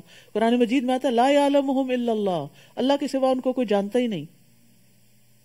यह है दुनिया की हकीकत। असल घर तो आखिरत है, जिसको बनाने की फ़िक्र करनी चाहिए। फरमाया, बड़े दर्जात हैं उसकी तरफ़ से, और बख्शिश और रहमत है, और अल्लाह बहुत बख्शने वाला, निहायत रहम करने वाला है। बेशक वो लोग जो फरिश्ते उन्हें फौत करते हैं, इस हाल में कि वो अपनी जानों पर जुल्म करने वाले हैं, पूछते हैं तुम किस हाल में थे? वो कहते हैं, हम ज़मीन में कमज़ोर थे वो कहते हैं, क्या अल्लाह की ज़मीन वसी न थी कि तुम उसमें हिजरत कर जाते? बस ऐसे ही लोगों का ठिकाना जहन्नम है और वो कितना बुरा ठिकाना है। तो यहाँ पर हिजरत की फजीलत बताई गई है। और एक तो वो हिजरत, बड़ी हिजरत थी जो नबी सल्लल्लाहु अलैहि वसल्लम के जमाने में हुई, लेकिन बाकी लोगों की हिजरत क्या है? नबी सल्लल्लाहु अलैहि वसल्लम ने फरमाया, वल मुहाजिर मन हजर मान अनहु। और मुहाजिर वो है जो अल्लाह की मना की हुई चीज़ों को छोड़ दे। एक और जगह पर आता है, आपसे पूछा गया कौन सी हिजरत अफजल है? आपने फरमाया, ऐसे शख्स की जो अल्लाह के हराम करदा उमूर को छोड़ दे, गलत ज़िंदगी को छोड़ दे, गलत कामों को छोड़ दे। हिजरत होता है छोड़ना, उन चीज़ों को छोड़कर अपना माहौल बदल दे, अपना काम बदल दे, अपनी आदतों को बदल दे, ये सब हिजरत में शुमार होती हैं। सिवाय उन मर्दों, औरतों और बच्चों के जो बेबस हैं, यानी जो मक्का में रह गए, जो हिजरत नहीं कर सकते थे, जो कोई तदबीर करने की ताकत नहीं रखते और ना कोई वो रास्ता पाते हैं और ना वो कोई रास्ता पाते हैं। बस यही वो लोग हैं, उम्मीद है कि अल्लाह उनसे दरगुजर करेगा और अल्लाह बहुत माफ़ करने वाला है, बहुत बख्शने वाला है। और जो कोई अल्लाह के रास्ते में हिजरत करेगा, वो ज़मीन में जाए पना और बहुत सी वसत पाएगा। और जो अपने घर से अल्लाह और उसके रसूल की तरफ़ हिजरत करते हुए निकला, फिर उसे मौत आ गई। तो यकीनन उसका अजर अल्लाह के जिम्मा हो गया। और अल्लाह बहुत बख्शने वाला, निहायत रहम करने वाला है। और जब तुम ज़मीन में सफ़र करो तो तुम पर कोई गुनाह नहीं कि तुम नमाज़ में कसर कर लो। अगर तुम्हें खौफ हो कि काफिर तुम्हें सताएँगे। यानी खौफ की हालत में खास तौर पर, लेकिन उसके बाद जब खौफ की हालत खत्म भी हो गई तो जंग के अलावा भी जो आम, अमन वाला सफ़र है, उसमें भी नमाज़ को आधा करने की इजाज़त है, रुख्सत है। फरमाया, इन्नल काफिरीन कानू लकुम अदुबम मुबीना। यकीनन काफिर तुम्हारे खुले दुश्मन हैं। तो यहाँ कसर नमाज़ की मशरूयत का ज़िक्र है। हज़रत आयशा कहती है कि जब अल्लाह ने नमाज़ फ़र्ज़ की तो वो दो रकत फ़र्ज़ थी। यानी इब्तदा में नमाज़ थी, दो रकत, यानी कसर वाली। फिर हजर की सूरत में उसे मुकम्मल कर दिया, चार कर दिया और सफ़र की नमाज़ को पहले फरीजे पे कायम रखा। ये अल्लाह की तरफ़ से एक सदका है जिसे कबूल करना चाहिए। नबी सल्लल्लाहु अलैहि वसल्लम सफ़र में रोजा रखते भी थे और छोड़ भी देते थे और दो रकत नमाज़ पढ़ते थे और उसको छोड़ते नहीं थे। यानी फ़र्ज़ की दो रकतों से ज़्यादा नहीं पढ़ते थे, मगरब के तीन ही होते हैं और वितर भी होते हैं। एक और सवाल के जवाब में नबी सल्लल्लाहु अलैहि वसल्लम ने अपने तमाम सफरों में नमाज़ कसर की है। और आपसे कभी यह साबित नहीं हुआ कि आपने सफ़र में मुकम्मल नमाज़ अदा की। चाहे वो जंग का सफ़र था या अमन का सफ़र था, हज का सफ़र था या उम्र का था। इब्ने अब्बास कहते हैं, हम मक्का और मदीना के दरमियान रसूल अल्लाह सल्लल्लाहु अलैहि वसल्लम के साथ सफ़र कर रहे थे। हमें अल्लाह अज्जा वजल्ला के सिवा किसी का खौफ नहीं था, जी किसी दुश्मन का खौफ नहीं था। मगर हम चार रकतों को दो रकतें ही पढ़ते रहते थे। फिर फरमाया, और जब आप उनमें मौजूद हों और सलातुल खौफ का तरीका, फिर आप उनके लिए नमाज़ कायम करें, यानी जंग की हालत में। तो चाहिए कि उनमें से एक जमात अपने हथियार लेकर आपके साथ खड़ी हो, और चाहिए कि वो अपना असलहा पकड़े रखें। फिर जब वो सजदा कर चुके तो चाहिए कि वो आपके पीछे आ जाएँ, और दूसरी जमात जिसने अभी नमाज़ नहीं पढ़ी, वो आ जाए। फिर वो आपके साथ नमाज़ अदा करे और वो अपना बचाव और अपना असलहा पकड़े रखे। जिन्होंने कुफर किया, वो तो ये चाहते हैं, काश तुम अपने असले और अपने साजो सामान से गाफिल हो जाओ। तो वो तुम पर यकबारगी हमला कर दे। और अगर तुम्हें बारिश की वजह से कोई तकलीफ़ हो या तुम बीमार हो तो तुम पर कोई गुनाह नहीं कि तुम अपना असलहा उतार कर रख दो और अपना बचाव किए रखो। और अपना बचाव लिए रखो। बेशक अल्लाह ने काफिरों के लिए रसवाकुन अजाब तैयार कर रखा है। तो इससे ही पता चलता है कि तमाम हालात में इंसान को तैयार रहना चाहिए। इवन नमाज़ खौफ में भी एहतियात लाजिम है। और इस इस सारी बात से यानी कि सवाल ये पैदा होता है कि अब उमूमी तौर पर तो शायद पर अमल नहीं होता तो इससे पता क्या चलता है कि नमाज़ कितनी अहम है। इवन अगर दुश्मन सर पे खड़ा है, नमाज़ का वक्त आ गया, फिर भी अदा करनी होगी। चलते, बैठे, सवारी पर, जिस भी हाल में। जमात से, बगैर जमात के, क्योंकि इन सलात तकान तलमिन किताबन मौकूता। फिर जब तुम नमाज़ पूरी कर चुको, अल्लाह को याद करो, खड़े बैठे और अपने पहलुओं पर। नमाज़ के बाद भी अजकार करो। फिर जब तुम इतमान में आ जाओ तो पूरी नमाज़ अदा करो। बेशक नमाज़ मोमिनों पर मुकर्रा औकात पर फ़र्ज़ है, यानी वक्त की पाबंदी ज़रूरी है। ये नहीं कि सारी नमाजें रात को इकट्ठी करके पढ़ी जाए। जब वक्त हो जाए तो उस वक्त उठकर नमाज़ अदा कर ली जाए। अगर सुन्नत और नवाफिन जैसे जॉब पर हैं या किसी ऐसे काम में है, सुन्नत और नफल पढ़ने का वक्त नहीं तो कम अज कम फ़र्ज़ वक्त पर अदा कर लिए जाए। और अगर सफ़र में है, जैसे जहाज़ का सफ़र है, बारह घंटे, तेरह घंटे की फ़्लाइट है तो अब वो एक ऐप है, हलाल ट्रिप। उसमें अगर आप अपनी फ़्लाइट का नंबर डाल दें तो बगैर इंटरनेट के भी वो काम करती है, वो आपको बता देगी कि आपकी जोहर कहाँ आ रही है, आपकी असर कहाँ आ रही है। और आप सफ़र में दो नमाजें जमा भी कर सकते हैं, जोहर और असर, मगरब और इशा। फजर नहीं जमा हो सकती, फजर अपने वक्त पर ही पढ़नी होती है। और नबी सल्लल्लाहु अलैहि वसल्लम फजर की सुन्नतें भी अदा किया करते थे। और तुम दुश्मन कौम की तलाश में कमज़ोरी न दिखाओ।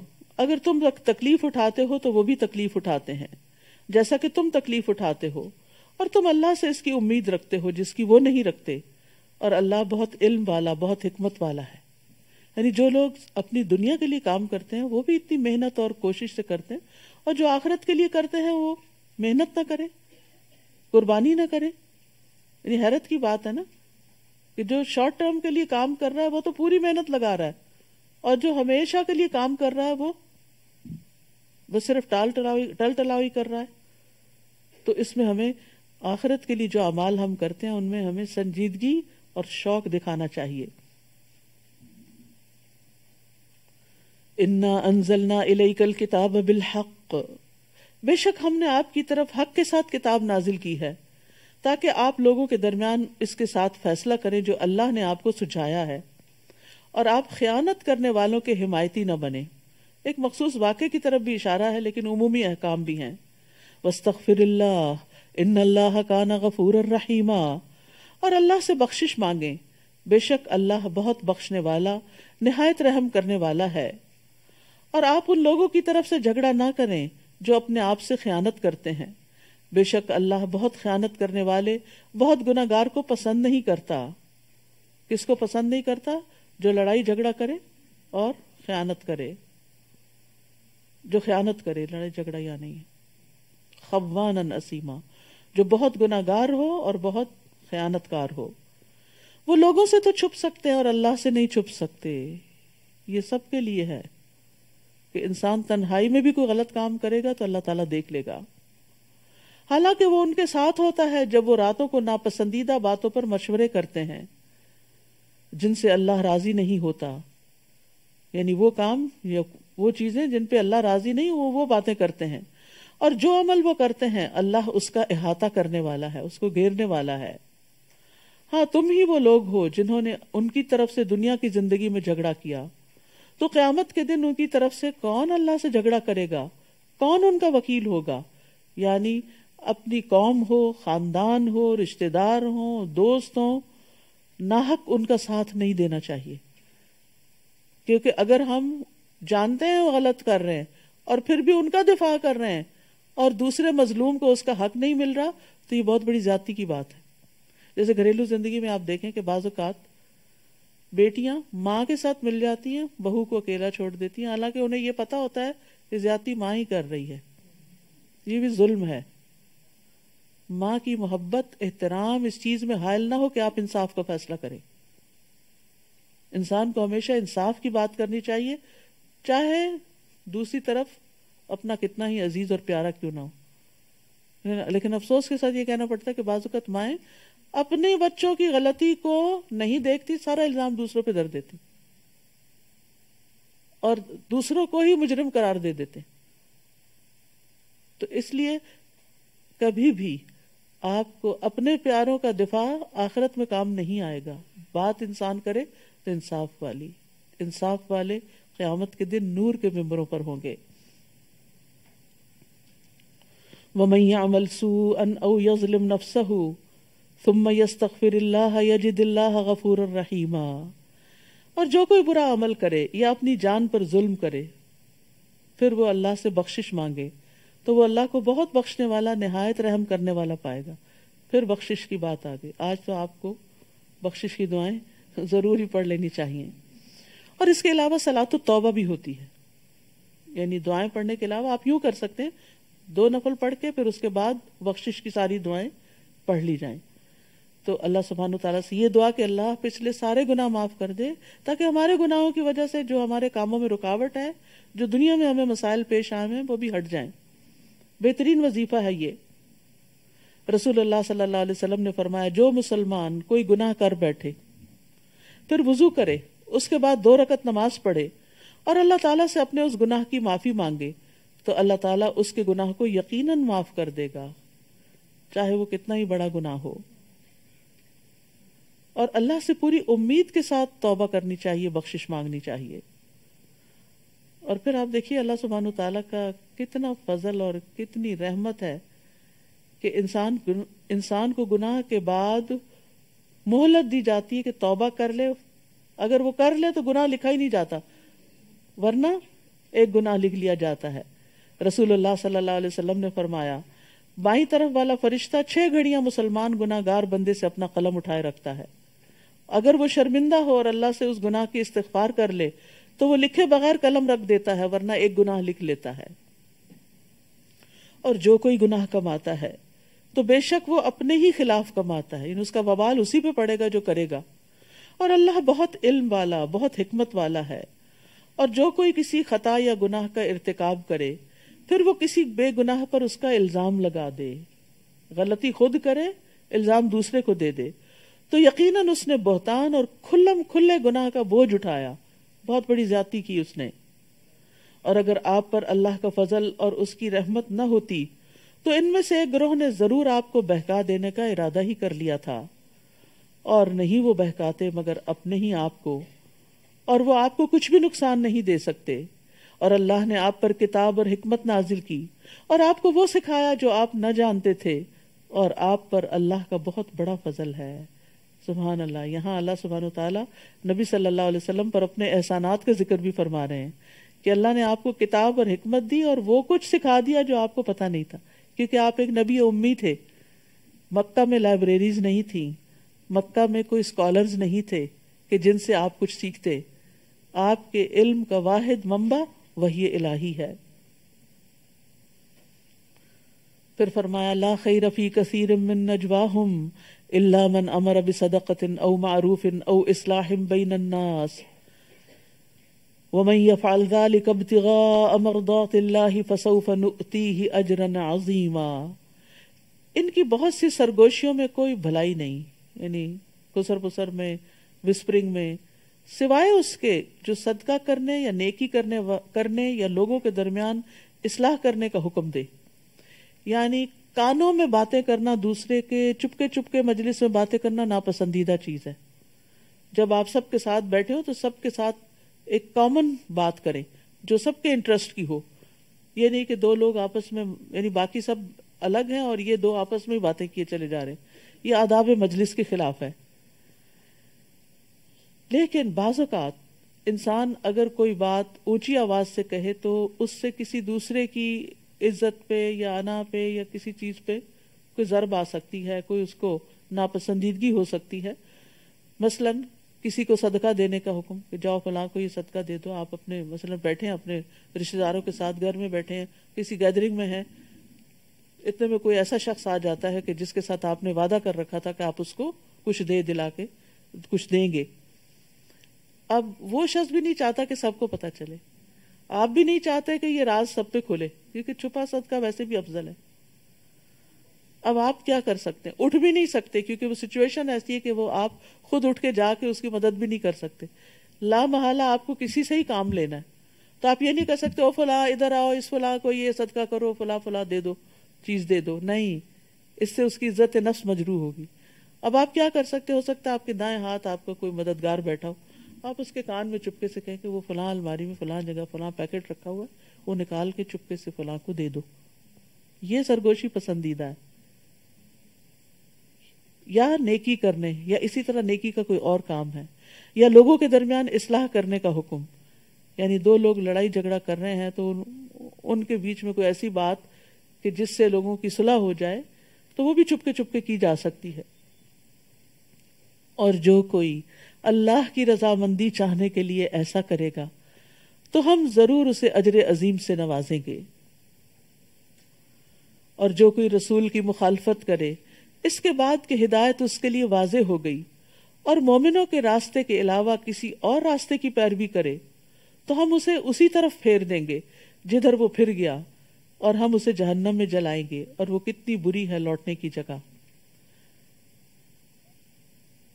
इमाम शाफी ने तीन सौ बार कुरान मजीद पढ़ा, एक हुक्म को जानने के लिए कि मुसलमानों का जिस चीज़ पर इजमा हो, उसका क्या हुक्म है।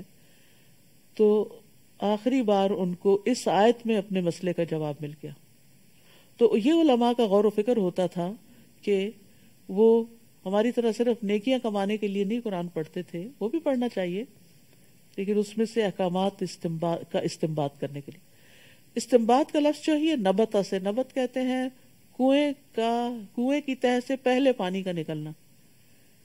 कुआँ कैसे खोदा जाता है? किसी ने खोद, देखा है प्रोसेस कितना मुश्किल होता है।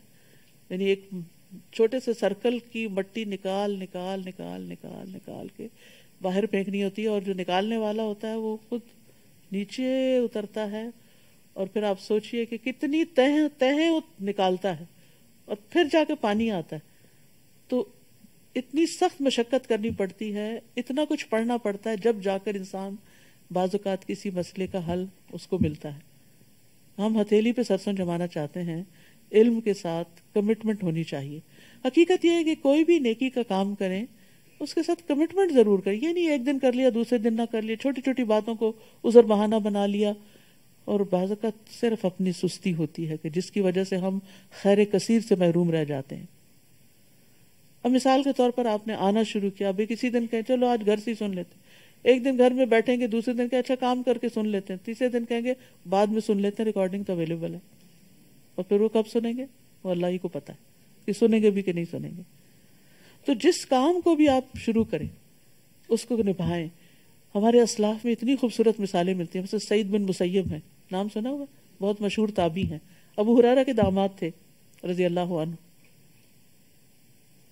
वो कहते हैं कि तीस साल से मैंने फजर की नमाज़ की पहली तकबीर मिस नहीं की। तीस साल से फजर की नमाज़ और वो भी अल्लाह अकबर जब हुई तो मैं इस जमात में शामिल था। ऐसे लोग। और अब हमारे यहाँ फजर क्या किसी और भी नमाज़ का वक्त हो। और कुछ नहीं तो छोटी मोटी ऐसी बस गपशप में, बातों में, बाजू का जुमा शुरू हो चुका होता तो हम कहते हैं अच्छा अच्छा अभी जाते हैं। खातन के लिए तो ये हुक्म नहीं है कि जमात से नमाज़ पढ़े, लेकिन मैं सिर्फ़ कमिटमेंट की मिसाल दे रही हूँ। इसी तरह एक और इमाम थे, इमाम रबिया राई। इमाम इमाम मालिक के उस्ताद थे। फिक में बहुत बड़े इमाम माने जाते हैं वो भी। उन्होंने भी इसी तरह की बात की कि 40 साल से उनकी तकबीर उला फौत नहीं हुई। हमारे, हमारा दीन और हमारी ये नमाजें हमें वक्त की पाबंदी सिखाते। आज हम और लोगों को अप्रिशिएट करते हैं कि फलाह शख्स अपने काम पे कभी एक मिनट भी लेट नहीं हुआ। लोग इसको काबिल फखर बात समझते हैं कि मैं अपनी ड्यूटी से कभी भी लेट नहीं हुआ। तो जब हम दुनिया की नौकरी के अच्छे क्रेडिट बनाने में और अपना अच्छी साख बनाने में इतनी पाबंदी करते हैं तो हम में से कोई ये भी देख ले कि आखिरत की कमाई के लिए हमारी कमिटमेंट कितनी है। हम में से कौन ये कह सकता है, आज तक मेरी एक भी फजर की नमाज़ कजा नहीं हुई। कोई है जो दावा करे? कोई नहीं कर सकता।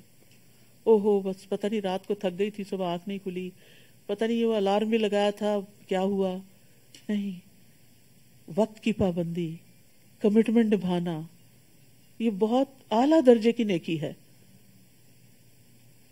इन यशरक बिही व यकफिर मा दून दालिक लिमन यशा। वमन युशरक बिल्लाहि फकद दल्ल दलालम बईदा। बेशक अल्लाह नहीं बख्शेगा उसके साथ किसी बेशक अल्लाह नहीं बख्शेगा कि उसके साथ किसी को शरीक ठहराया जाए। फिर दोबारा यही बात आई, शिरक नाकाबले माफ़ी गुनाह है। और जो उसके अलावा होगा वो जिसके लिए चाहेगा बख्श देगा। और जो कोई अल्लाह के साथ शरीक ठहराए तो यकीनन वो गुमराही में बहुत दूर भटक गया। शिरक से बरात के लिए ला का विरद बड़ा फायदामंद है। और ला का माना समझना बड़ा ज़रूरी है। ये एक पूरा कार्ड इस पे बनाया गया कि ला पढ़ने की फजीलत क्या है और किस किस तरह पढ़ा जाए। तो इसमें इस, ये भी एक बड़ी अच्छी याद दहानी होती है अपने तोहीद के सबक को दोहराने की। अबू दरदा से रिवायत है कहते हैं कि मैं रस, मैंने रसूल अल्लाह सल्लल्लाहु अलैहि वसल्लम को फरमाते हुए सुना कि हर गुनाह के बारे में उम्मीद है कि अल्लाह उसे बख्श देगा सिवाय उस शख्स के जो मुशरक होके मरा या किसी ने मोमिन को जानबूझ के कत्ल किया।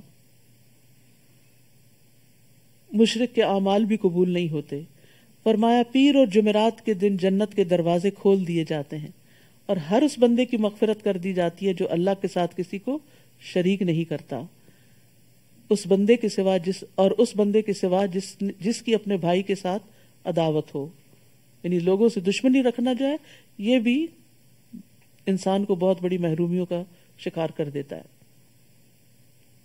चुनाचे कहा जाता है, इन दोनों को मोहलत दो हत्या की सुलह कर लें।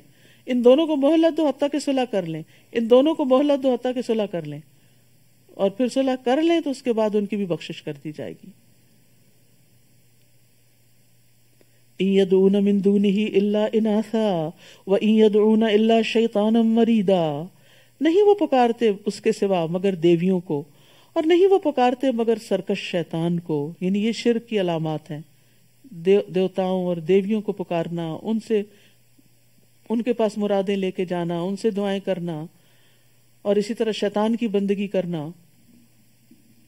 अल्लाह ने उस पर यानी शैतान पर लानत की और उसने कहा मैं तेरे बंदों में से, यानी शैतान ने कहा, मैं तेरे बंदों में से एक मुकर्र हिस्सा ज़रूर बे ज़रूर लेकर रहूँगा। उनको अपना चेला बना के छोड़ूँगा। और दिन रात वो इस काम पे लगा हुआ है। और इसके लिए उसने मोहलत मांगी थी कि मुझे क्यामत तक ज़िंदगी दे दी जाए और उसको दे दी गई। और वो हर वक्त अब यही कुछ कर रहा है। बुराइयों को खूबसूरत बना बना के लोगों को अपने जाल में फांसता है। इमाम इबन कय्यम कहते हैं कि शैतान की एक हैरान कन चाल यह है कि वो इंसान के नफ्स को सूंघता है।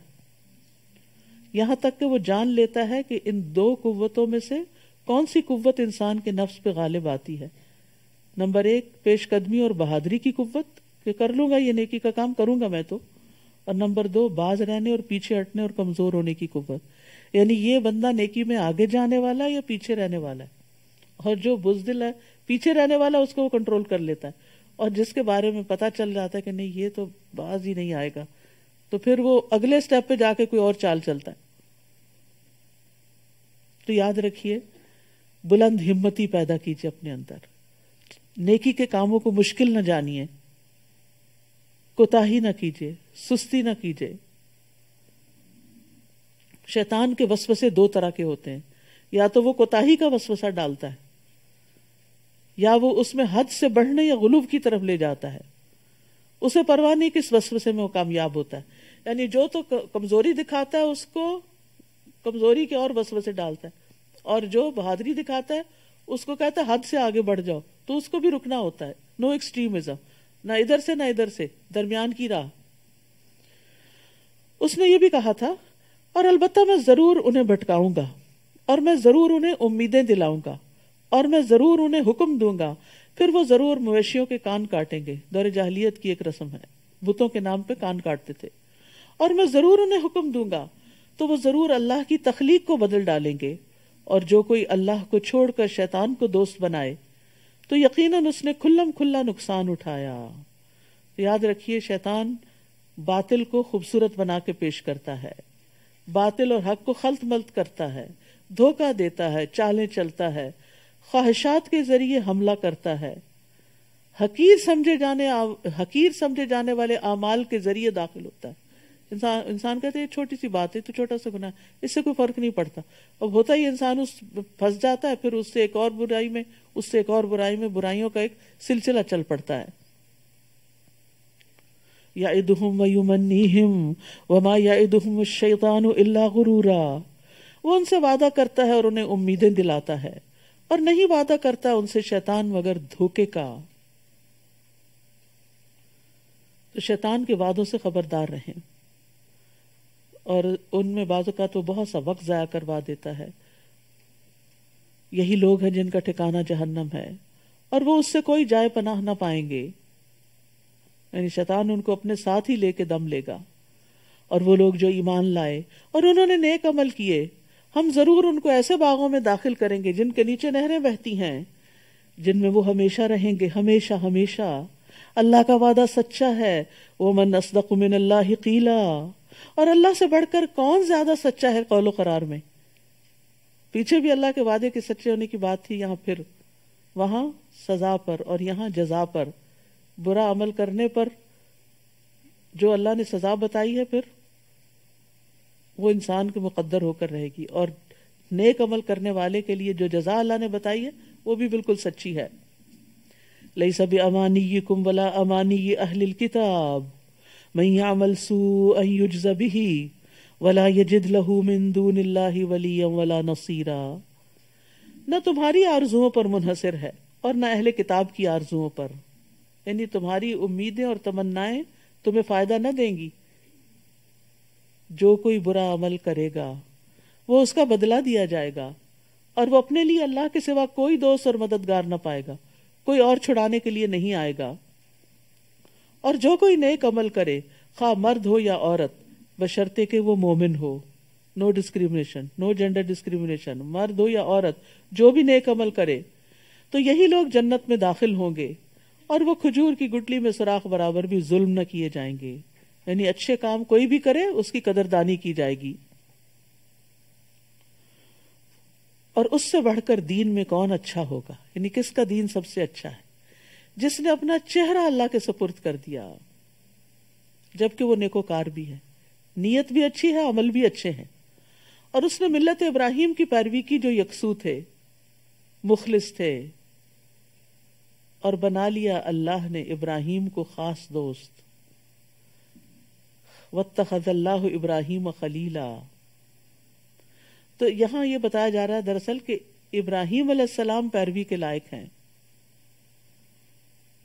उन्होंने वो चीज़ पा ली जिसके ज़रिए बंदा अल्लाह का कुर्ब हासिल करता है। और अल्लाह सुबहान तला के करीब हो गए और खुल्लत का मकाम हासिल किया, जो कि मोहब्बत का आला तरीन दर्जा है। यानी अल्लाह सुबहान तला इब्राहिम सलाम से मोहब्बत करते हैं। क्योंकि वो अपने रब की बहुत ज़्यादा इतात करने वाले थे।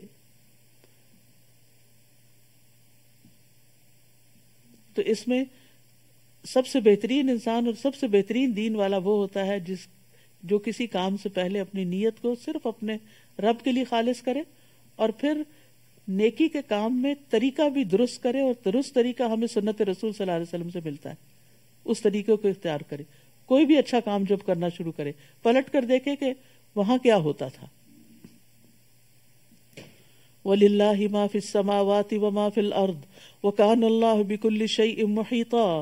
और अल्लाह ही के लिए है जो कुछ आसमानों में है और जो कुछ ज़मीन में है, और अल्लाह हर चीज़ का खूब अहाता करने वाला है।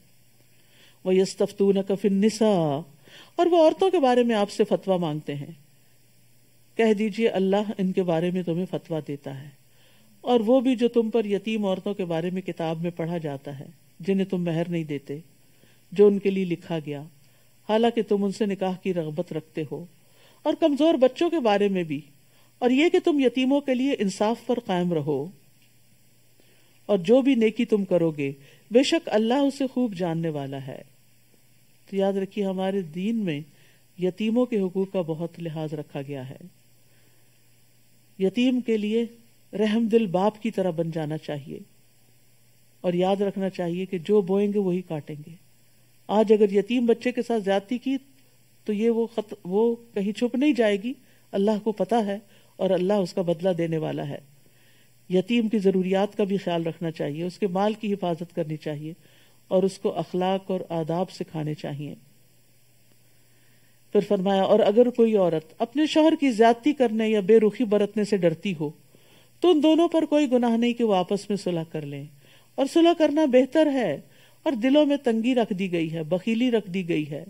और अगर तुम एहसान करो और तकवा इख्तियार करो तो बेशक जो अमल भी तुम करते हो, अल्लाह उसकी खूब खबर रखने वाला है।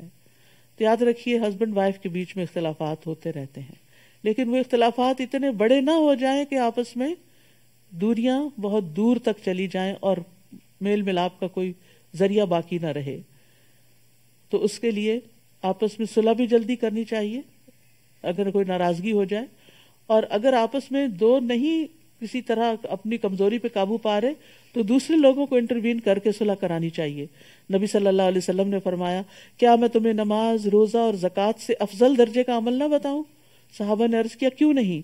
आपने फरमाया, आपस में सुलह करवाना, जबकि लोगों में फूट और फसाद डालना दीन को मुड़ने वाली चीज़ है।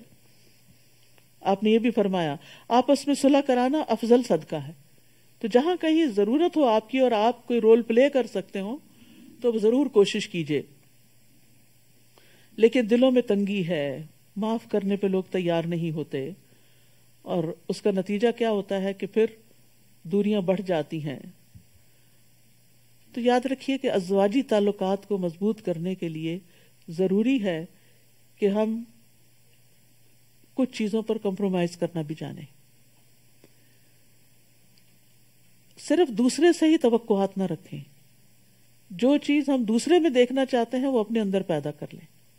अगर हम चाहते हैं कि हस्बैंड बहुत केयरिंग हो तो आप खुद ज़्यादा केयरिंग हो जाए, ताकि उसको केयर करना आ जाए। फिर इसी तरह यह है कि तवक्कुआत ना रखना ये तो नहीं हो सकता, लेकिन रियलिस्टिक तवक्कुआत रखें। यानी अगर आपने घर की बहुत अच्छी सफ़ाई की है तो ये तवक्को रख बैठना कि ज़रूरी तारीफ़ करे। और अगर उसने नहीं की तो आप मूड ऑफ़ कर लें। और उसको, उस गरीब को ये पता ही ना कि मूड क्यों ऑफ़ और अगर वो पूछे भी तो कहें कुछ नहीं। तो ऐसे मामला की इसलाह कैसे होगी?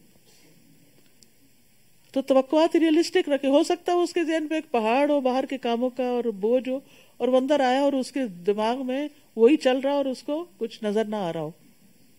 इसी तरह हम चाहते हैं खाने की तारीफ़ हो इसी चाहते हैं हमारी तारीफ़ हो हमने इतना कुछ पहना बनाया बने समरे तवज्जो ही नहीं की। ये छोटी छोटी नाराजगियाँ होती हैं जो बड़ी बन जाती तो तो रियलिस्टिक रखें। फिर इसी तरह कुछ चीज़ें तो वक्त के साथ दोनों में तब्दील होती लेकिन कुछ आते नहीं तब्दील होती तो जो बदल नहीं सकते उसे कबूल कर लें एक्सेप्ट कर लें कि, कि ये मेरे हस्बैंड में कमज़ोरी है। लेकिन इसके मुकाबले में खूबियाँ भी बहुत हैं तो कोई बात नहीं। और जहाँ और फिर ये नहीं कि हर चीज़ एक्सेप्ट कर ले, जिस चीज़ को तब्दील कर सकते हैं, उसको कोशिश से, दुआ से तब्दील भी करें। जी हाँ सब्र और बर्दाश्त की सलाहियत अपने अंदर करें कैपेसिटी बिल्ड करें।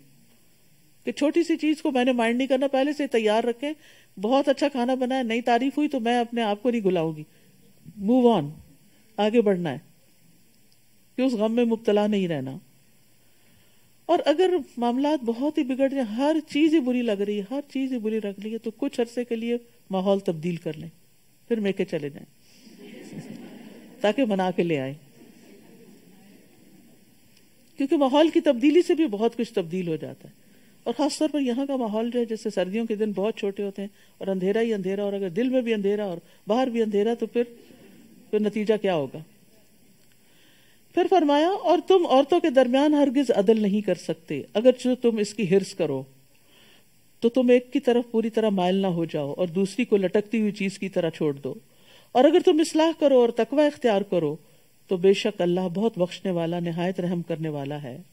और अगर वो दोनों अलग हो जाएँ तो हर एक को अल्लाह अपनी वसत से गनी कर देगा। नहीं बनती तो फिर तलाक को एक, को बहुत ही बुरी चीज़ ना समझो।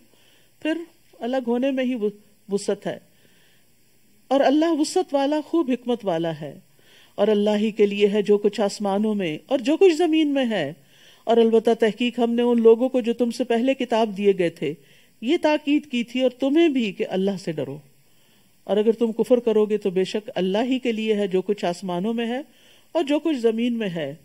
और अल्लाह बहुत बेनियाज, बहुत तारीफ़ वाला है। और अल्लाह ही के लिए है जो कुछ आसमानों में है और जो कुछ ज़मीन में है और काफ़ी है अल्लाह कारसाज सुबह अल्लाह ये बार बार तकरार इसलिए है ताकि इसको महसूस करें कि हर चीज़ का मालिक अल्लाह है, वो सब कुछ कर सकता है, उसे कुछ भी तब्दील करने के लिए किसी के पास नहीं जाना। वो खुद मालिक है, बंदों के दिलों का मालिक भी वो है, माल का मालिक भी वो है रिस्क का मालिक बीमारी को सेहत में बदलने का मालिक तो उससे मांगते चले जाओ। ऐ लोगो, अगर वो चाहे तो तुम सबको ले जाए और दूसरों को ले आए। और अल्लाह इस पर बहुत कुदरत रखने वाला है। यानी जब बंदे अल्लाह के हुक्म को जाया कर देते हैं तो अल्लाह की निगाह में हकीर हो जाते हैं, अल्लाह को परवाह नहीं होती। फिर उनकी बजाय अल्लाह दूसरों से अच्छे काम ले लेता है। मन का युरीदु सवाब दुनिया सवाब दुनिया आखिरा अल्लाह समी अम बसीरा। जो कोई दुनिया का सवाब चाहता है तो अल्लाह के पास दुनिया और आखिरत दोनों का सवाब है। तो तुम सिर्फ़ दुनिया क्यों चाहते हो? रब्बना आतिना फिर दुनिया हसना व फिल आखिरत हसना। और अल्लाह खूब सुनने और खूब देखने वाला है। और अल्लाह खूब सुनने वाला, खूब देखने वाला है। ए लोगो, जो ईमान लाए हो, इंसाफ पर कायम रहने वाले हो जाओ। अल्लाह के लिए गवाही देने वाले बन जाओ। अगरचे वो तुम्हारे अपने ही खिलाफ हो, या वालदेन और कराबतदारों के। अगर वो गनी होंगे या फकीर तो अल्लाह उन दोनों का ज़्यादा खैर खा है। यानी किसी को, यानी नाहक किसी का साथ देकर फरी के मुकाबिल को नुकसान न दो। बस तुम ख्वाहिशात की पैरवी न करो कि तुम अदल न करो। और अगर तुम जबान मोड़ोगे या तुम एराज करोगे तो बेशक जो भी तुम अमल करते हो, अल्लाह उसकी खूब खबर रखने वाला है। तो इंसान को हर हक इंसान को हर हाल में हक बात ही कहनी चाहिए, चाहे करीबी रिश्तेदारी क्यों ना हो। रसूलुल्लाह सल्लल्लाहु अलैहि वसल्लम ने फरमाया, काजी तीन तरह के होते हैं। एक, जन्नत में, दो, आग में। जन्नत में जाने वाला वो है जिसने हक पहचाना और उसके मुताबिक फैसला किया। जिसने हक पहचाना, फिर फैसले में जुल्म किया, वो आग में है। और जिसने जाहिल होते हुए लोगों के फैसले किए, वो भी आग में है। तो ये बहुत नाजुक मामला है। आप जज तो नहीं है कहीं, लेकिन घर के अंदर भी, बच्चों के बीच में भी, रिश्तेदारों के बीच में भी छोटे छोटे फैसले करने पड़ जाते हैं तो अदल से काम लेने की ज़रूरत है। ए लोगो, जो ईमान लाए हो, ईमान लाओ। अल्लाह और उसके रसूल पर, यानी अपने ईमान की तजदीद करते रहो। और उस किताब पर जो उसने अपने रसूल पर नाजिल की, और वो किताब जो उसने उससे पहले नाजिल की, और जो कोई इनकार करेगा अल्लाह का, और उसके फरिश्तों का, और उसकी किताबों का, और उसके रसूलों का, और आखिरत के दिन का बस तहकीक वो भटक गया, बहुत दूर का भटक जाना। बेशक वो लोग जो ईमान लाए, फिर उन्होंने कुफर किया, फिर ईमान लाए, फिर कुफर किया, फिर कुफर में बढ़ गए, यानी दीन को खेल ही बना लिया। अल्लाह ऐसा नहीं कि उन्हें बख्श दे यानी कुफर की हालत में मौत आ गई तो बख्शिश न होगी, और ना ये कि उन्हें सीधे रस्ते की हिदायत दे। बशरिल मुनाफिकीन अजाबन अलीमा। मुनाफिकों को खुशखबरी दे दीजिए कि उनके लिए दर्दनाक अजाब है। जो लोग मोमिनों को छोड़कर काफिरों को दिली दोस्त बना लेते हैं, क्या वो उनके पास इज़्ज़त चाहते हैं? तो बेशक इज़्ज़त सारी की सारी अल्लाह ही के लिए है। और तहकीक उसने किताब में नाजिल किया कि जब तुम अल्लाह की आयात सुनो कि उनका इनकार किया जाता है और उनका मज़ाक उड़ाया जाता है तो तुम उनके साथ मत बैठो हत्या कि वो इसके अलावा किसी और बात में मशगूल हो जाएँ, वरना बेशक तब तुम उन जैसे होगे बेशक अल्लाह मुनाफिकों और काफिरों सबको जहन्नम में जमा करने वाला है। वो लोग जो तुम्हारे बारे में इंतज़ार करते हैं, फिर अगर तुम्हारे लिए अल्लाह की तरफ़ से कोई फतह हो, यानी मुनाफिक इंतज़ार करते हैं तो वो कहते हैं, क्या हम तुम्हारे साथ न थे? और अगर काफिरों के लिए कोई हिस्सा वो कामयाब हो तो कहते हैं, क्या हम तुम पर गालिब आने नहीं, क्या हम तुम पर गालिब नहीं आने लगे थे? और हम तुम्हें मोमिनों से बचा नहीं रहे थे? उनको भी उनकी तरफ़ हो जाते हैं। बस अल्लाह क़यामत के दिन तुम्हारे दरमियान फैसला करेगा और अल्लाह काफिरों के लिए मोमिनों पर हरगिज कोई रास्ता न बनाएगा। इन्नल मुनाफिकीन खादिउहुम बेशक मुनाफिकीन अल्लाह को धोखा देते हैं। हालाँकि वो उन्हें धोखा देने वाला है। और जब वो नमाज़ के लिए खड़े होते हैं तो इंतहाई सुस्ती से खड़े होते हैं। यौन करते हुए ढीले ढाले लेट और वो लोगों को दिखावा करते हैं कि कोई ये ना कहे, इसने तो नमाज़ ही नहीं पढ़ी। और अल्लाह को बहुत थोड़ा याद करते हैं। नमाज़ अल्लाह के ज़िक्र के लिए कायम की जाती है। अफसोस कि हम नमाज़ में भी अल्लाह को कम याद करते हैं। दुनिया में तो क्या याद करेंगे? तो मुनाफिकत में सुस्ती बड़ा अहम किरदार अदा करती है। उन्हें नमाज़ से कोई दिलचस्पी नहीं, दिल ज़िक्र से कोई दिलचस्पी नहीं। बस वो इंतज़ार करता रहता है। आखिरी वक्त में उठ के दो चार ठोंगे मार लेता है और अल्लाह को कुछ भी याद नहीं करता। आपने फरमाया, मुनाफिकों पर फजर और इशा से ज़्यादा कोई नमाज़ भारी नहीं। लेकिन मोमिन इसके बरक्स अपने रब से सरगोशियाँ करता है, अल्लाह को याद करता है। मुतजबजब हैं, न इन लोगों की तरफ़ है, ना उन लोगों की तरफ़। ना मोमिनों के हैं, ना कुफार की तरफ़। और जिसे अल्लाह भटका दे तो आप हरगिज उसके लिए कोई राह ना पाएँगे। ए लोगो, जो ईमान लाए हो। मोमिनों के सिवा काफिरों को औलिया ना बनाओ। क्या तुम चाहते हो कि तुम अल्लाह के लिए अपने खिलाफ कोई वाज दलील बना लो? बेशक मुनाफिकीन आग के सबसे निचले दर्जे में होंगे, क्योंकि उन्हीं का ये तरीका था, कभी इधर मुसलमानों की तरफ़, कभी दूसरों की तरफ़।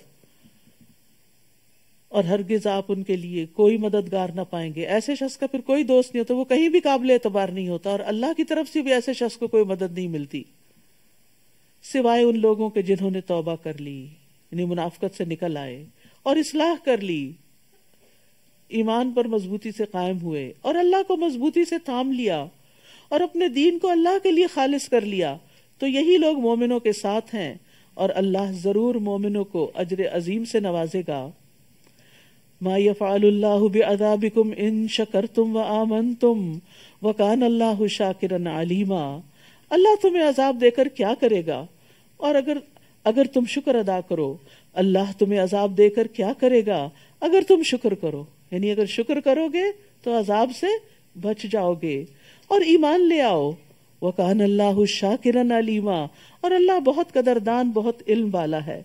यहाँ अल्लाह ताला ने शुक्र को ईमान से पहले ज़िक्र किया है, क्योंकि बंदा नेमतों को देखकर शुक्र अदा करता है, फिर उस हस्ती को पहचानता है जिसने इनाम किए और शुक्र ईमान का सबब बन जाता है। फिर ईमान ले आता है और ईमान में नेमतों का शुक्र और इजाफा करता चला जाता है। तो याद रखिए, शुक्र का फ़ायदा खुद इंसान ही को मिलता है। ममई यशकुर इन नमा यशकुर नफसी और शुक्र गुजार जो है वो अजाब से बचा लिया जाता है।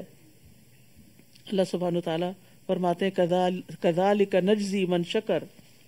जिस तरह आले लूत को अजाब से बचा लिया गया, हर शुक्रगुजार को बचा लिया जाता है। तो अल्लाह ताला से दुआ है कि वो हमें शुक्रगुजार बंदा बनने की तोफ़ी अता फरमाए। व आखिर दावाना अनिलहमदिल्ला रबालमीन सुबहानक अल्लाहुम्मा व बिहमदिका। अशहदु अल्ला इलाहा इल्ला अंता। अस्तगफिरुका व अतूबु इलैक।